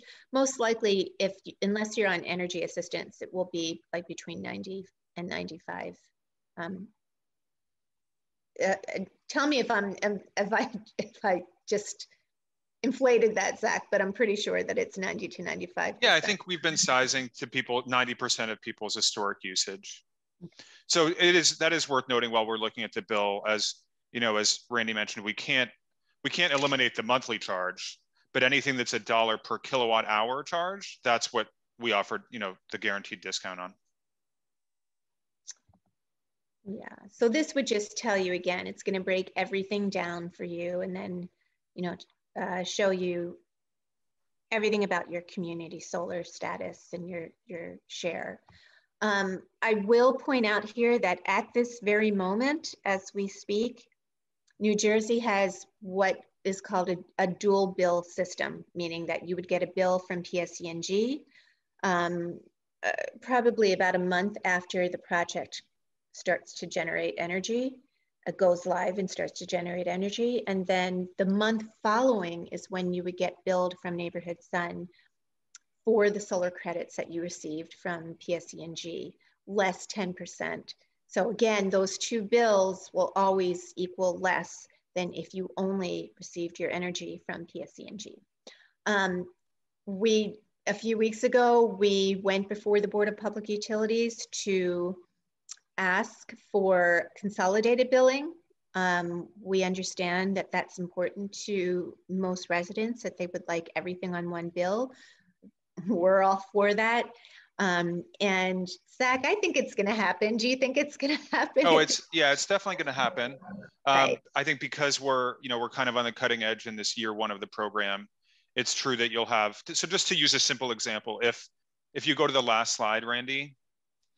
Um, Oh, I, I don't That's know. okay. It's gonna let me go. Let's say that the credits on your PSE&G bill are worth $100, then your fee for to be a subscriber is going to be $90, thereby saving you $10 that month. You know, so that's that's how it's currently set up. After New Jersey rolls out the consolidated billing, you won't even have to worry about that. It'll all be on your PSE&G bill. But for the next year or so, it's and not to mention it's auto pay anyway, so you don't have to think about it. But um, that's kind of how the savings are realized. You know, you get, um, again, let's say it's $100 credit on your PSEG bill, and then you pay the solar farm $90, giving you a $10 savings. and you know, the savings are wonderful, um, but the environmental benefits are what we're, you know, doing this for to help people. You know, like our our kids and our grandchildren. This is an issue that we, you know, we helped cause it and we need to help clean it up. So, um, you know, this just kind of shows you what the average community solar customer prevents the equivalent of 10 hot air balloons filled with CO2, 12,000 pounds of coal burned, 27,300 27, miles driven. So it's like basically taking your car off the road. Um, these numbers for our impact in the projects that we've uh, have so far, those are for our Maryland projects where community solar has been in existence, I think until uh, since about 2015, 2016. And so this is uh, for about seven projects. Our New Jersey project has not turned on yet, uh, but it will. And then we'll add to that, add to those numbers. So, oh, I'm not Carolyn Rickett, sorry about that. But um, yeah, if anybody has any questions, this is a, a good time to ask.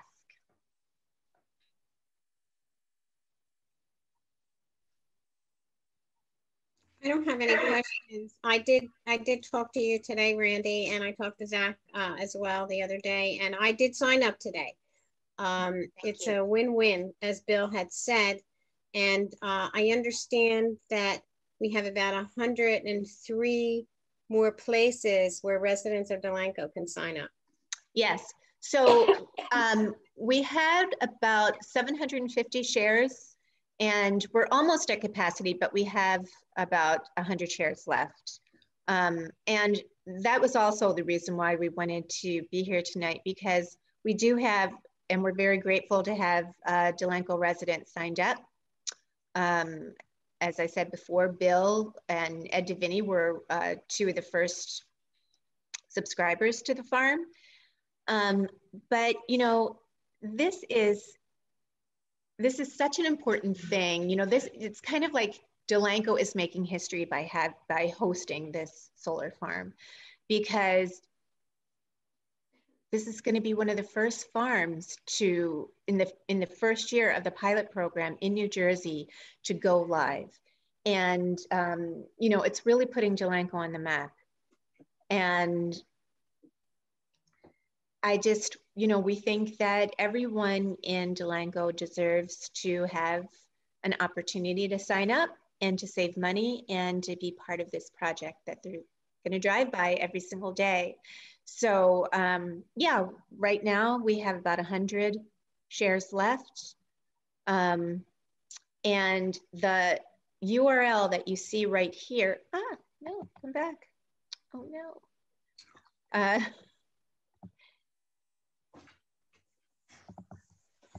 the URL that you see here is um, is what you would want to, that's what you would want to click on to get to the Delanco landing page. And if we do get permission to make donations, this is how we would know um, that you signed up through Delanco. And that's the only way, it, um, rather than going through our, our um, the Neighborhood Sun website, this is how we would know that you're signing up through Delanco and we would know to give the donation and you would get your $100 gift card.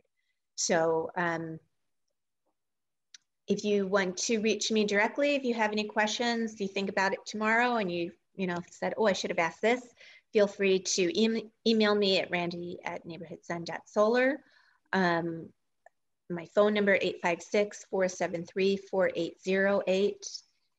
And uh, yeah, we're here for more questions if anybody has anything that they want to say or comments or. Can you return the screen back to uh, Mrs. Provenzano and so I can see the rest of the public there? Sure. And Mayor. I do, this is Zach from Soltage. I do see one um, question in the chat that I can address from um, a, a Miss Arlene Taraski. And um, it says, what protection do you have from hackers cutting off the power supply? So, you know, we've got our own security with the chain link fence and security cameras, but we also comply with PSE&G's security protocol that they would put on any what is called a distributed generation asset. So any, you know, kind of small power plant of this size. Um, so we've, you know, we've got those kind of multiple layers of, of, of protection. Randy, this is Linda Gaffney. Um, I did. Hi, Um, yeah. You just remind people, like to, in the sign up process, it does ask you for a couple of things like your PSE&G account number, and just remind people what they would have to have it ready to answer the questions. Sure, that's a great comment, Linda, and thank you for signing up. I, Linda and I have known each other for many years. Um, so yeah, when it's probably good to be prepared if you do go to sign up. So you want to have your PSE&G account number ready. And again, we need that because um, we're going to call PSE&G and ask for your historical usage, and that will help us determine what size share of the solar farm that you'll receive. And you're also, it's going to ask you for your payment information. And um, we are, everything is done electronically. So uh, you have two options, either by paying through credit card or through ACH payments. And the reason why we ask you for that information now is really two reasons. One, it kind of acts as a placeholder um, for your share of the farm because otherwise people could just easily sign up and then maybe they would decide not to move forward with, with it and that would just kind of put us off balance um, when it's time to turn on to turn the project on um, live. And the other reason, and I guess this is the most important one, is we need to know how we're going to get paid because this is a dual billing system. We need to know how you would how you're going to pay us. Um, I can tell you that in no way would we ever, even though we'll have that information, you will not be billed until the project turns on, until you receive your credits from PSE&G, and then after that, you would be, be billed from Neighborhood Sun. Um, but that information is not going anywhere until the project turns on and starts generating energy. Uh, Randy, can you turn over the host back to uh, uh, back to Aaron? Yes, if you can guide me on how to do that, i would be happy to. Okay, Randy, um, just find the name host. Oh, okay. Okay, and then click yeah, on the I three dots, and that's yeah. all. There you go. Yeah. Thank you, Mayor. All right, sorry about that. And, and so we've we've returned our TV screen back to our back to our control. Um, I'm gonna have to leave and come back. It's not working. But I'm switched over. Oh, geez. Okay. Oops. Couldn't um, hear for a while. we have another question in the chat um, from Liz Mattisette. Is the program only for residents? What about businesses, government offices? I can take that one. So it is only for residents. The, this community solar program is, is targeted toward residents. Um, I did speak with uh, Mr. Finan um, uh, about, for, you know, from the Sewerage Authority about um, how Soltage may be able to help Delanco with some of the township electric accounts um, and other, you know, related public entities like the Sewerage Authority. Um, that would have to be something we pursue separate from this community solar project. And I, I do hope that we can, we can, you know, service the town um, with more solar projects, but um, this particular one is, is for residents. Uh, my, que my question, it seems the, the marketing strategy seems odd um, that you depend on on community service groups or volunteers or, or boards and stuff to basically do your marketing for you. Uh, and at least in this case, with, with the year's delay, uh, it would seem that a direct mailing uh, information or advertising in, in local media uh, would have would have gotten you the customers you, you were looking for. We actually we do all of those things. Yeah, so, that's how we got the first 600 or yeah. we do all of those things. Um, you know, it's just that, and especially with COVID, um, you know, our plans didn't necessarily uh, go in the direction that we were aiming them for. And so we have, you know, any method of, of marketing we do use. But what I was saying about our community partners, that's the one that's the nearest and dearest to our heart because we're keeping, you know, we're, we're providing um, donations, we're supporting local organizations, and that's important. That's part of our mission as a B Corp. So that, you know, but yes, we we do extensive digital advertising. We have done um, we we've done direct mail. Uh, in fact, I think anyone that is in a 55 plus community in Delanco did receive a direct mail piece from us. Um, possibly everyone else might have received one from us in Delanco as well. Uh, yeah, we, I mean, we do all types of marketing, but our preferred method is definitely, our favorite method is definitely through our, our uh, community partners. Like we have several uh, uh, developments in the last couple of years that would seem to fit into the uh, your LMI categories that seem to be what this is, at least from this from the sustainable uh, view is, is what it was targeted for.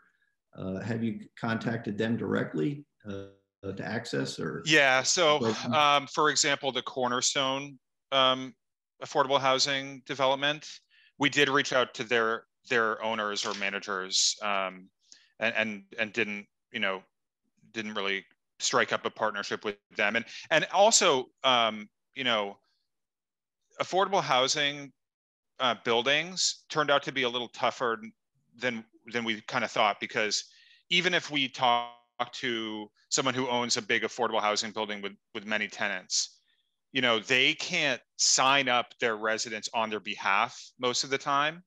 Sometimes they can if it's a master metered building, but those ones are usually on commercial rates and that kind of throws us off a bit. So it has kind of been, I know what you're, you know, I know what you're saying. It would be great to sort of find an owner of a development like that and, and cover so many subscribers in, in one in one housing development. But um, for you know, sort of for those technical reasons, it's kind of been more of a what we sometimes call onesies and twosies. You know, each each household one at a time.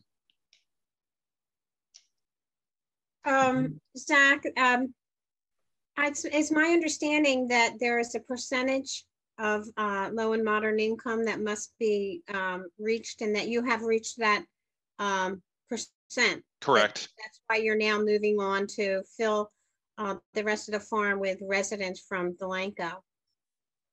Correct. We did meet, we already met, yeah. Right, you met that obligation and actually they don't have to be from Delanco, I believe Randy had told me, but it would be nice that our residents had an opportunity to fill the remaining spaces that are available. Exactly. I mean, the long and short of it is, is, you know, we kind of, Randy and I and other folks working this sort of looked at each other and, and realized, well, you know, the project's going to fill up before long, and we we would like to have more folks right in the, you know, right in Delanco. Um, so Right. that's that's kind of what spurred this. So I appreciate the fact that you did contact me last month because here you are before Delanco Township right now, and hopefully you'll fill those vacant pieces to that farm. So I think it's great. Thank you. I appreciate you contacting me. Thank you. So, you know, we we really appreciate your help with this. Yeah, absolutely. Yeah. Are there any other questions from the uh, committee on this?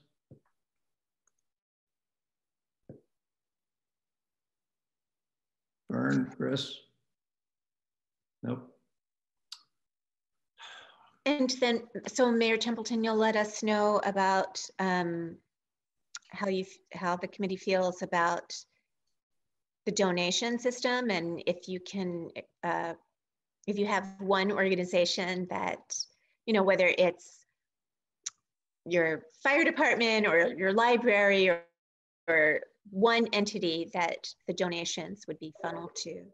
Um, please let us know. when It's they- only one. We can't, can't split or two or five. Yeah, I was hoping we could split, but wait, but it, it's, it's just one. Okay.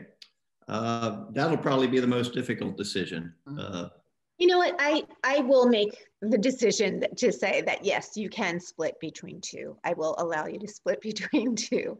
It's, uh, you know, it's, I, I probably can't go beyond that because then it just starts to get to be a, you know, a bookkeeping thing. Um, but yes, two organizations or, you know, two different arms uh, from Delanco, yes, I would definitely. And that would be uh, for your, it's basically your contribution for new subscribers. And that's, that's a one-time only for this initial group of, of plank holders for the, uh, the solar farm, correct? anyone who signs up through the Delanco URL, yes. And and uh, as as Kate alluded to, you don't even have to live in Delanco to do this. So if you have relatives that live in Beverly or you know any Cinnaminson or anywhere, and or friends or family, you can send them the URL and they can sign up, and we will make a donation on their behalf. Um, and honestly, I mean, it, it depends on how you wanted to do it. If you wanted us to send the donation directly to Delanco, you know, to the township of Delanco, then you can you can split it up as many different ways as you want. But if you want us to make the donation directly to um, an organization, um, then you know I would just ask to keep it to two different organizations. But that's that's up to you. We would just, we would have that on the landing page, that information on the landing page. So we really wouldn't want it to be too, um, too overloaded with information because then that could just get.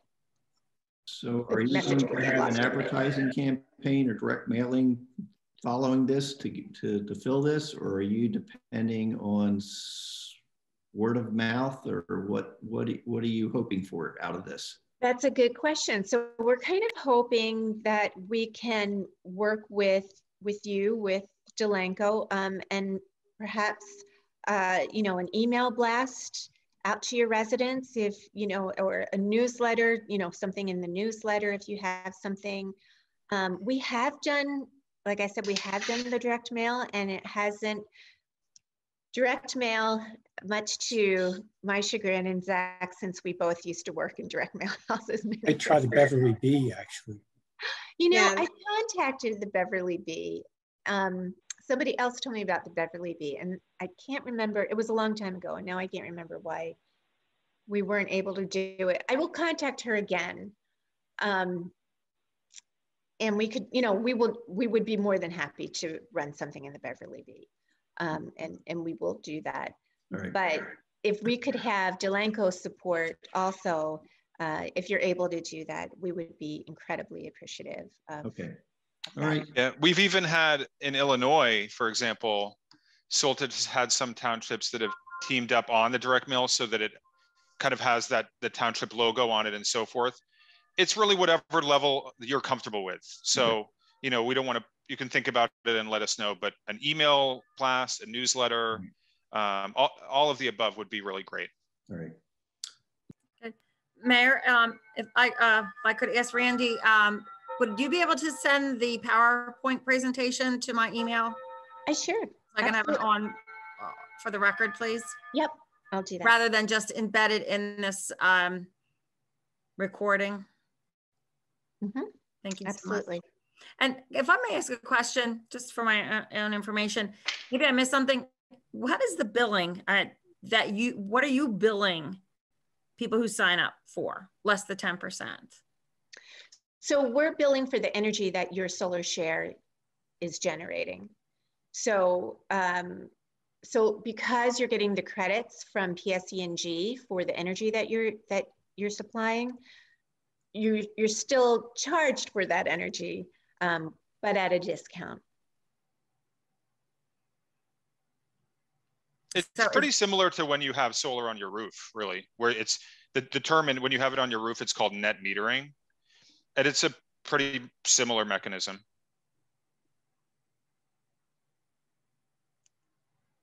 Has there ever been a situ, a circumstance where what you're billing and a PSE&G bill are more than the PSE&G bill? Of course, less, less the gas.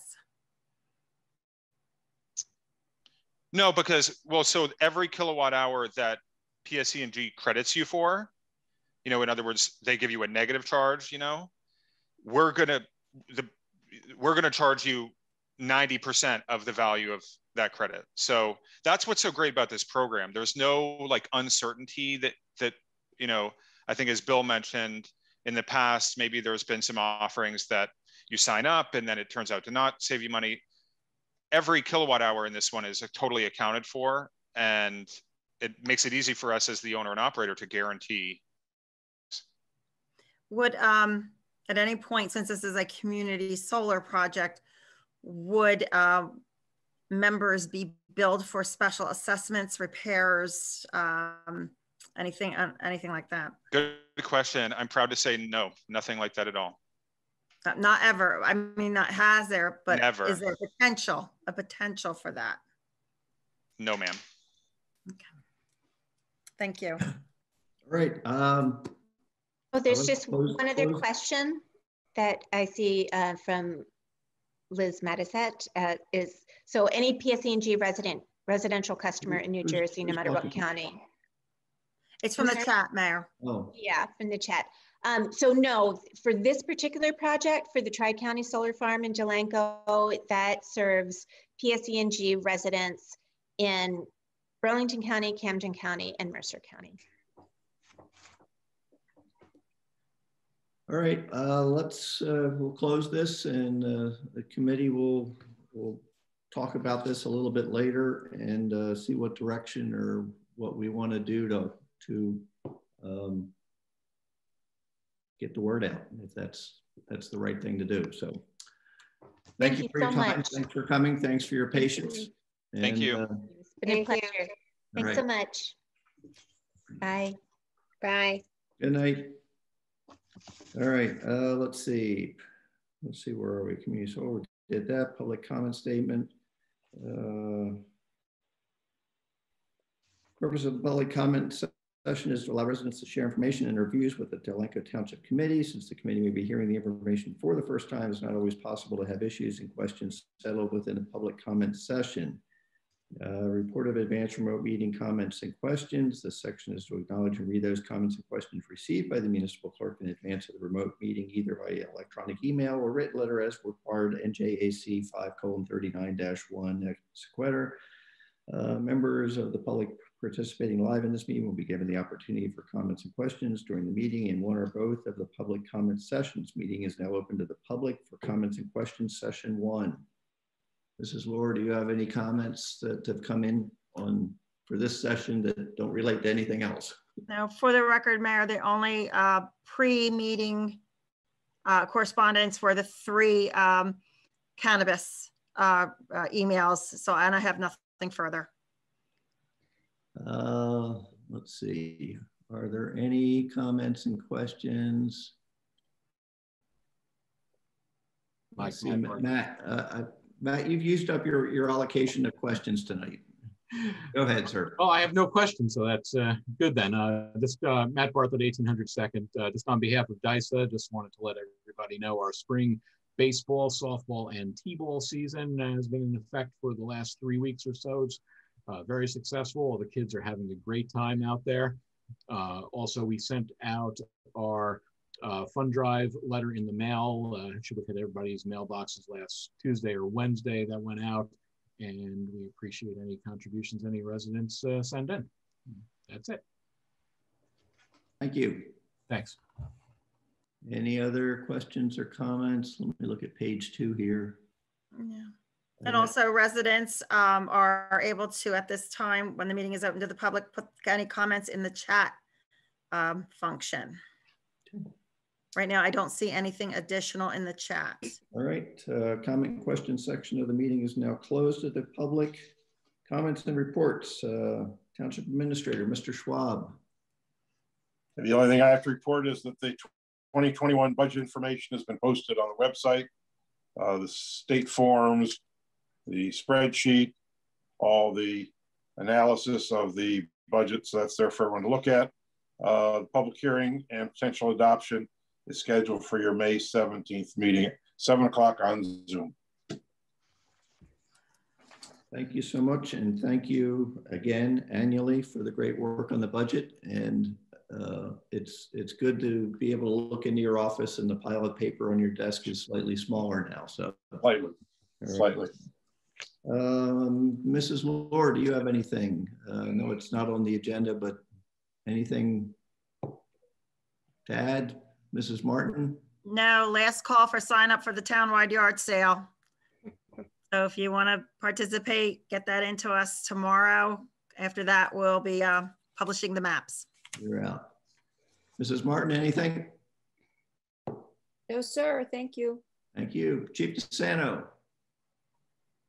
Yes, Mayor, uh, right before you go to the consent agenda, um, ordinance twenty twenty-one eight, uh, I failed to uh, advise uh, the township solicitor, Mr. Heinold, that that ordinance should include a time limit as well when we uh, do that parking ordinance. I'm recommending a fifteen-minute time limit. Mrs. Laura, is that uh, pen and ink permissible? Yes, you haven't introduced it yet. So if you want to make any uh, additional language, uh, any changes, this is the time to do it before we go to publication on it. Okay. So do No, you you want, want, you want to pull that off consent? yeah, we'll pull that off and address it just to get it, get it Thanks. right or Okay. get it how you want it. All right. Anything else, chief? No, that's all, Mayor. Thank you. Okay, Thank you. Township Committee, uh, Mr. Brown is, uh, is recovering. Uh, Mrs. Patrick, Okay, um, well, I think I've met with the history board at least three times since my last report. Uh, they're in the process of preparing the criteria for the historic designation program. And we are working on three properties to be designated this year. Um, 100B Russ Farm Way, uh, which is uh, the Newton Russ Farm Homestead.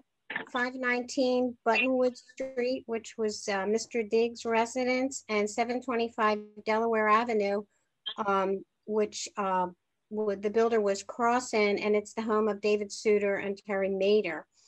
Uh, we have set up our list serves and we're working on a Facebook page yet. Um, well, I met with REC and EAB um, to determine the area. Liz was there, Mike was there, and uh, Phil McFadden to determine the area where the plants would be planted so EAB could use their grant at the new section of Gateway Park. Uh, I met with the Field of Dreams meeting with a contractor. We went over the contract terms and necessary reports to be submitted to um, John Fenimore, as noted in the contract. And I could see that we've already received some reports from uh, Brian from TLC. Uh, attended the OEM meeting. Terry explained the contents of the phone conferences that she has regarding COVID-19 most of that information is regarding how they would submit reimbursement to FEMA. And we're lucky enough to have our township representative do that. I believe that's Beverly's job, Janice. Yes. Uh, a lot of towns have um, full-time coordinators for um, the Office of Emergency Management, so they do that. Uh, she did indicate that RCBC, the college, is no longer a testing site as of May 15th because they're reopening. So they won't be able to be tested, anyone. Uh, recreation is working to obtain a place for our, um, to provide rooms for the summer program. Uh, we're waiting to hear from the school and I've also uh, submitted a request to Dobbins. Uh, we distributed 114 Easter bags with eggs and dye kits for our children in town. Uh, DISA, as Matt had indicated, uh, they had no opening day, but they are playing and they're having a great time. Uh, I did contact Dietz and Watson and they were generous enough to provide hot dogs for our concession stand. And uh, they are in need of volunteers to help work the concession stand. So if anyone has a free night and you'd like to volunteer some time, they certainly could use it. Um, I already reported that I did present Mrs. James with her um, proclamation for turning 100 on April 8th. Um, the Sewer Authority, um, the date of the memorial for Freddie Weller has been set for June the 6th at 11 o'clock, and there'll be more details to follow on that. Uh, 989 Coopertown Road information uh, was requested from the sewer authority as well regarding connection fees. Uh, uh and apparently um, Ben Weller had indicated it looks like it could be offices and more warehousing. Uh, Dolan is a work in progress for the sewer authority as well. They're waiting for connection fee and okay from Delanco Township. They did install signage at Bugs Ditch and they temporarily, let's see, still looking for temporary funding for the um, professional fees for the uh, sewer line sleeving project. And uh, I did connect um, Zach with uh, Tom Finan and he did report that, that you know, the solar farm is not available to the sewage authority, but they're looking at other areas. And they contacted me March 18th and I've been back and forth with Zach and was able to get them on our agenda tonight. So I'm very thankful for that. And that's all I have. Thank you. Ms. Holland, thank you. Thanks, Kate.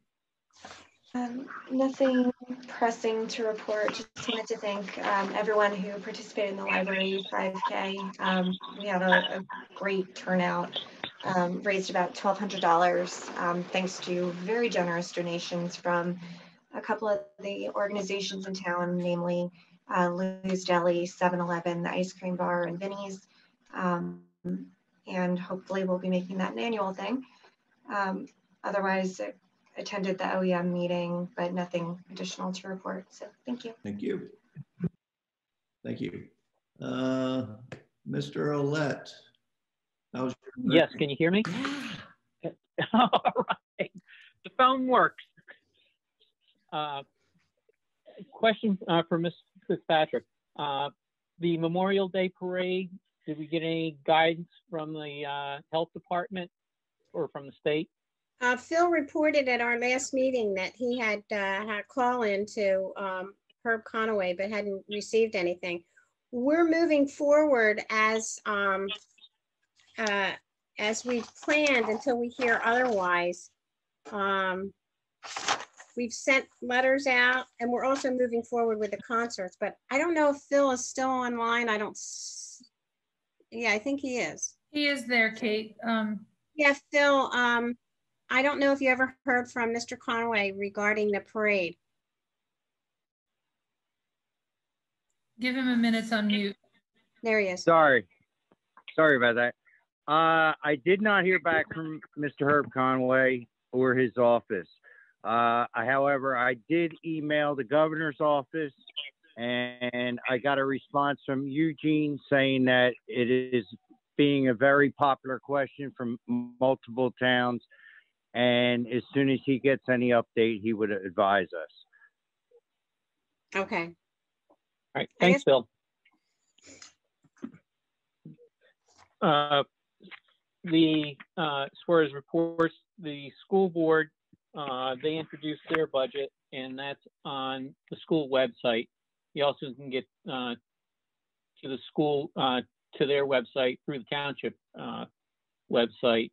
Uh, go to community, hit schools, and then uh, hit the I think it's K through eight, eighth grade, and that'll bring up their website and get all the budget information for the school there. they're still concerned about the uh, I think they said 5.2 positions that they're they may have to cut uh, to meet their budget. Uh, they need to move forward uh, with the budget the way it is, uh, even though they're anticipating money from uh, the federal government from the COVID. Uh, they can't count on it. They have to continue to move forward. there was a suggestion that the board is considering uh, going to uh, two monthly meetings for the school board, uh, which to me sound like a great idea as opposed to them having uh, subcommittees. And, uh, this way here, all the members of the school board uh, would be involved, be able to participate in the decision making, and they would know more or have firsthand knowledge on what's going on within the school board itself, as opposed to uh, getting to the one month meeting and just voting on things, but not having the full background. Uh, but it's a discussion that they're going to have amongst themselves uh, and uh, see if it makes sense to go to two school board meetings a month versus having all the, uh, I guess, the subcommittees doing their part. Um, as far as the Joint Land Use Board, uh, the fence ordinance was again uh, part of the discussion, and uh, the offer was made by Ms., uh, Mrs. Taylor that uh, if our professionals or, or uh, zoning officers or construction or anyone within town hall has questions about certain ordinances, uh, and I guess dealing with the fences, uh, anything in particular that they don't understand, uh, that she's available for a phone call and would be more than happy to help out and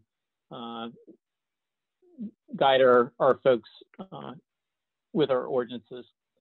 Was also a request made for with the multifamily housing uh, as far as uh, we as a committee taking a look at this, uh, where we could save, I guess, money for our residents. They asked if we could move that up on our agenda. I had said that we probably wouldn't be able to get to it till July or August because of uh, the things that we're doing with uh, our budget and with the cannabis. Uh, but they were looking to see if we could do that sooner. I'm not sure we can, but uh, the request was made. And let's see, what else we have? And that's about it for right now. Thank you. Thank you. Uh, let's see. Uh, County Health had a conference call, um, I believe it was last Thursday. And uh, one of the things uh, that uh, was mentioned and not a lot of detail was uh, County Health is seeing um, or feels that a lot of these, the COVID infections or the, hotspots that are pop popping up or at, uh, generated at uh, youth sports activities, either school or uh, municipal recreation associations or, or, leagues or things like that. And what the county uh, is trying to put together uh, uh, is a program to have pop-up testing clinics show up at municipal youth sporting events and do on-site testing there. Um, that's still in the works. Uh, uh, I just got an email or it had, had posed a question, a follow-up question to County Health uh, late this afternoon and uh, got a reply that they're collecting emails and point of contacts for various things. So I'll send that on to, to Aaron and uh, uh, with the uh, county health department point of contact for recreation and DISA and so forth and anybody else uh, that they can get a hold of and say, you know, uh, and, and put out what, what, the, what, what their program really is because uh, it has not been established yet. It's nothing on paper right now, but that's, that's the county health department's plan. Regarding Memorial Day parade, um, gauging how things have gone in the past, uh, uh, on closures and openings and so forth. I, I don't think we're going to get a definitive yes you can or no you can out of out of the county and probably even Trenton. And I th think that's going to become a local call. Um, uh, our countywide uh, Burlington County is still uh, a hotspot. Uh, New Jersey is still a hotspot. Uh, whether that'll subside enough in the next uh, month or so is unknown. we're running at the same infection rate that we saw a year ago, April. So um, I think uh, at this point and looking at those numbers, uh, I, I, think a traditional Memorial Day parade is uh, somewhat of a risky and uh, uh, fraught uh, endeavor. And we may really want to consider something very low key like we did last year for Memorial Day. So um, any information that comes through from County Health or, the, or Trenton, I'll certainly distribute it and pass along. But uh, as I said, I wouldn't I wouldn't wait for you know a definitive yes or no. Um, been working on the flood ordinances. I've been filling in the blanks in the in the uh, in the model ordinances, and I've got a phone call into uh, DEP flood uh, just to verify a couple couple things that, that, I have some questions about, and hopefully I can get something useful to Mr. Schwab and Mr. Fox, uh, and they can uh, fact check my my amateur work uh, on the on the two flood ordinances and hopefully save them some time. Uh, I did have a conversation with the uh, Burlington County School Superintendent last week. Uh, he returned a, a, call that I made a couple days prior. Had a very nice conversation uh, with uh, Dr. Minnie Menini and confirmed a lot of the things that about school budgets and how things work and how things that don't work regarding funding and uh, uh, the ability of schools to adapt to changing conditions and uh, special education costs and so forth.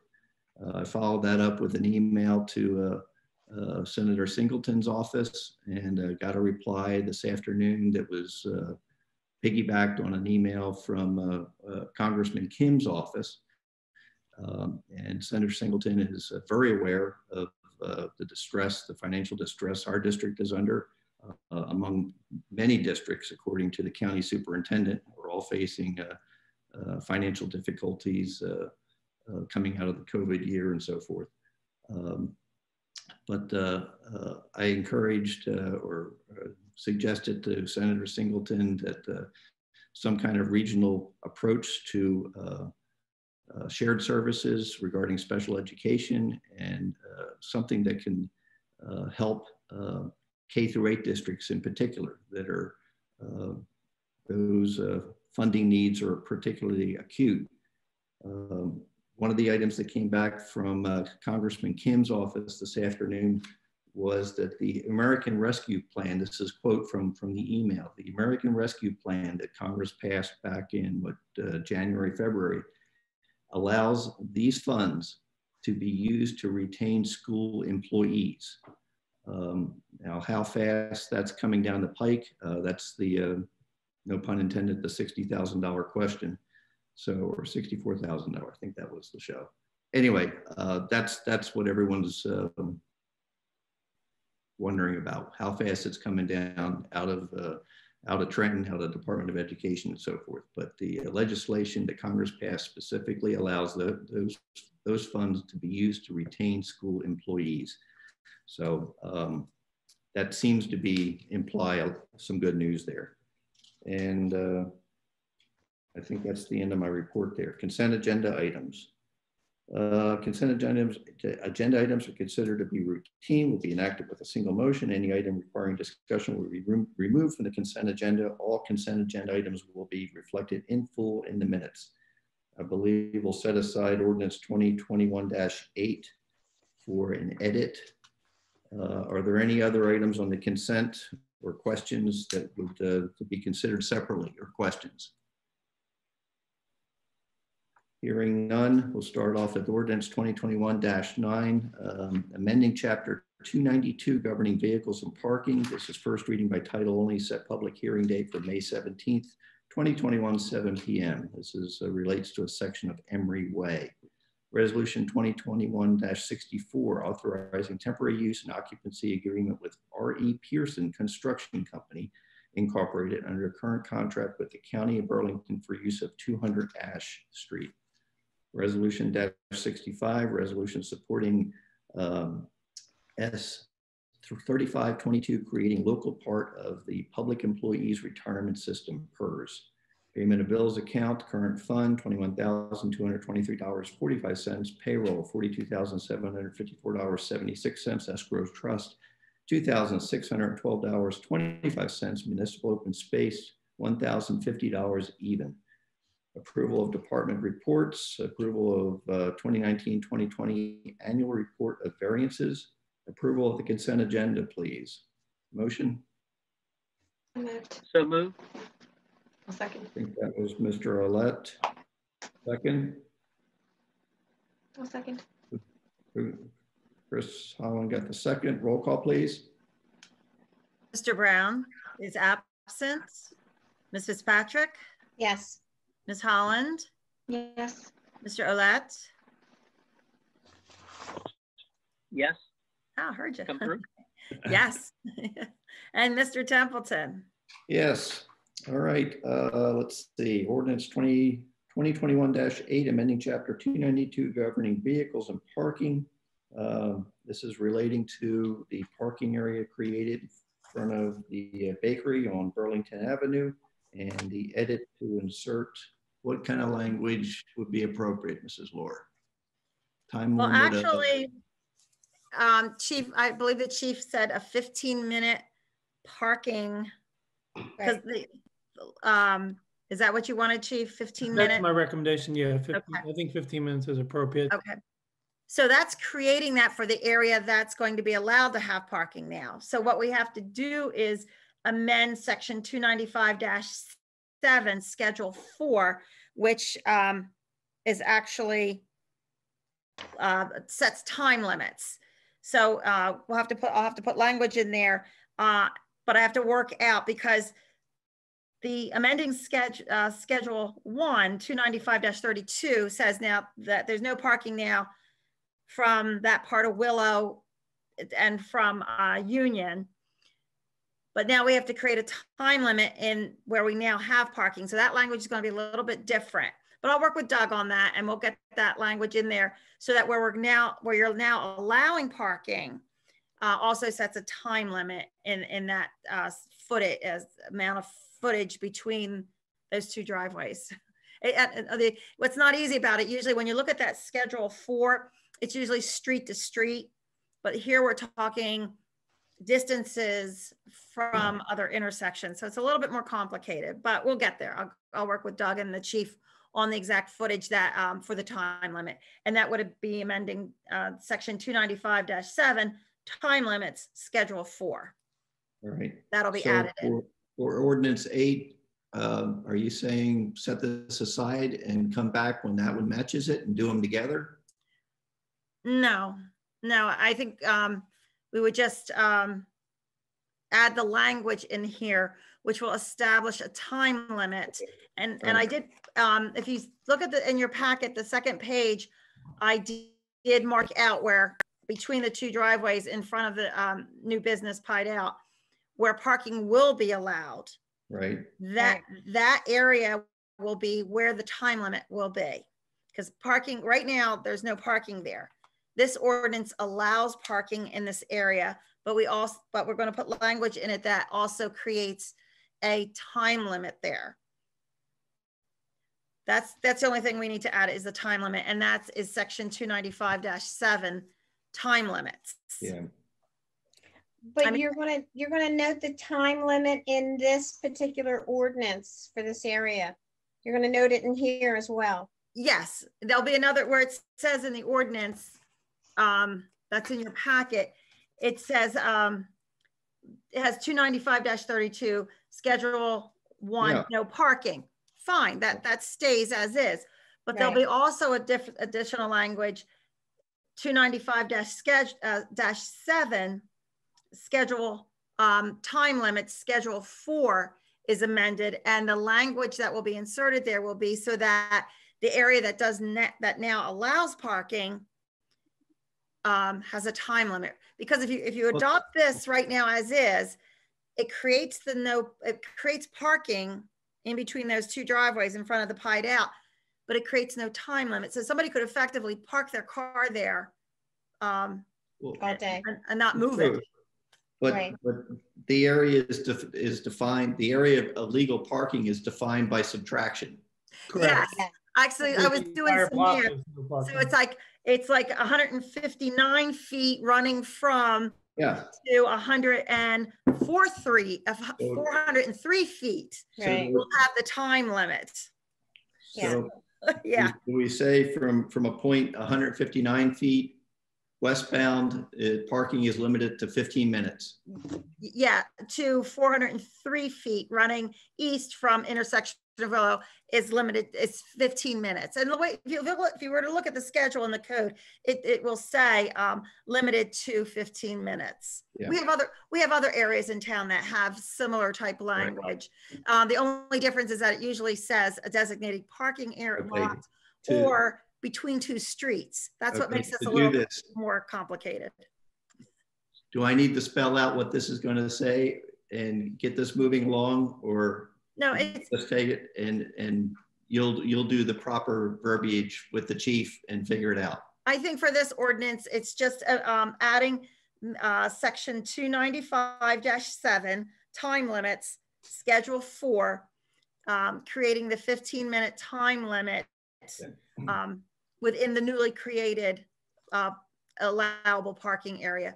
All right. Chief, unless you have any, anything else. No, I think you try to explain the best you, you could. It, you know, this ordinance allows the parking. The next ordinance, we're gonna have limits when that parking can be. And the only, Well- only we need the county to be involved with is allow- allowing us to open it up for parking.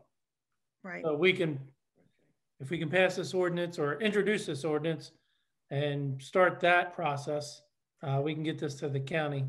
Well, you- Pass it.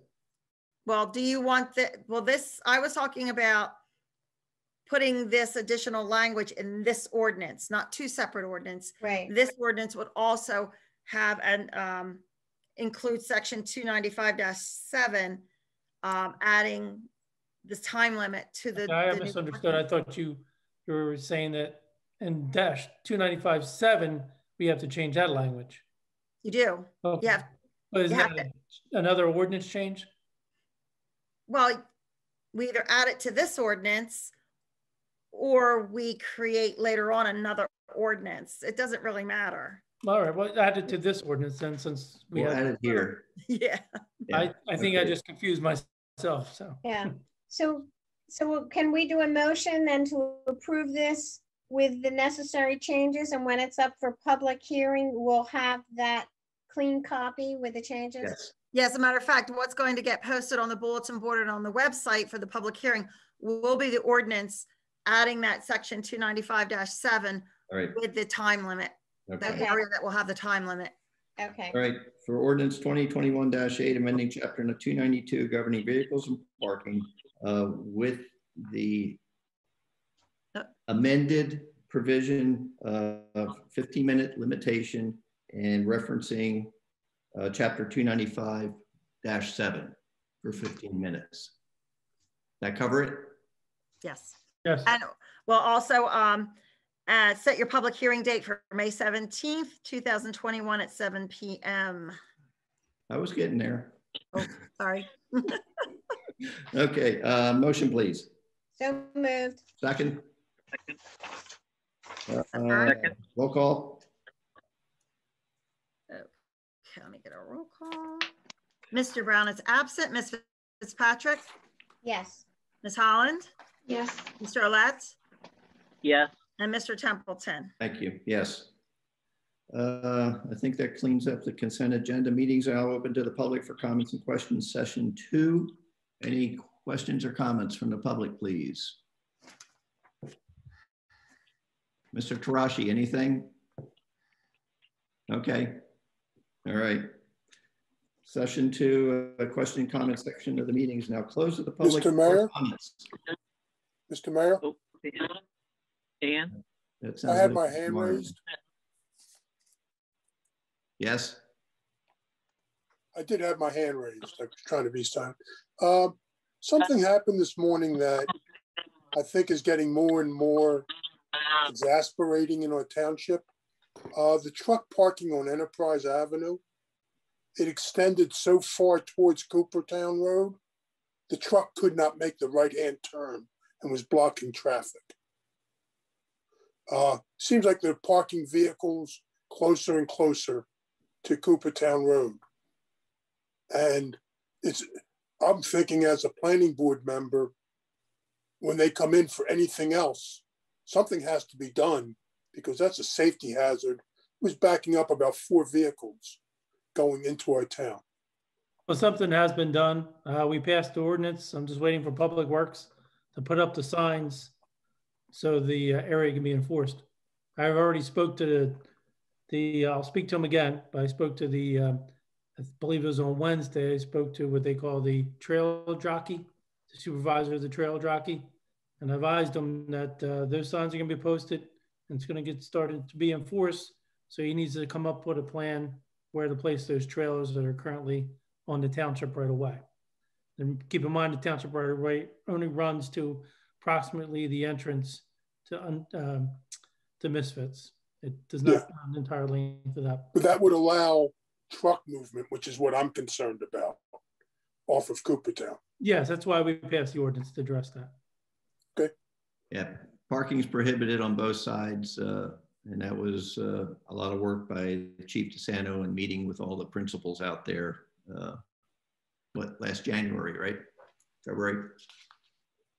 Yeah, I think that's when we started, yes. Yeah, so. Thank you. Uh, Any correspondence, Mrs. Ward? None, no further. Uh, Do we need an executive session for anything? Seeing or hearing none? I see Richard's giving a, a- his. All right. Well done. Good meeting, everybody. Um, Motion to adjourn. So moved. Second. Thank you. All in favor? All in Aye. favor? Aye. Good night. Good night. Good Night, everybody. Night, Erin. Thank you. You're welcome.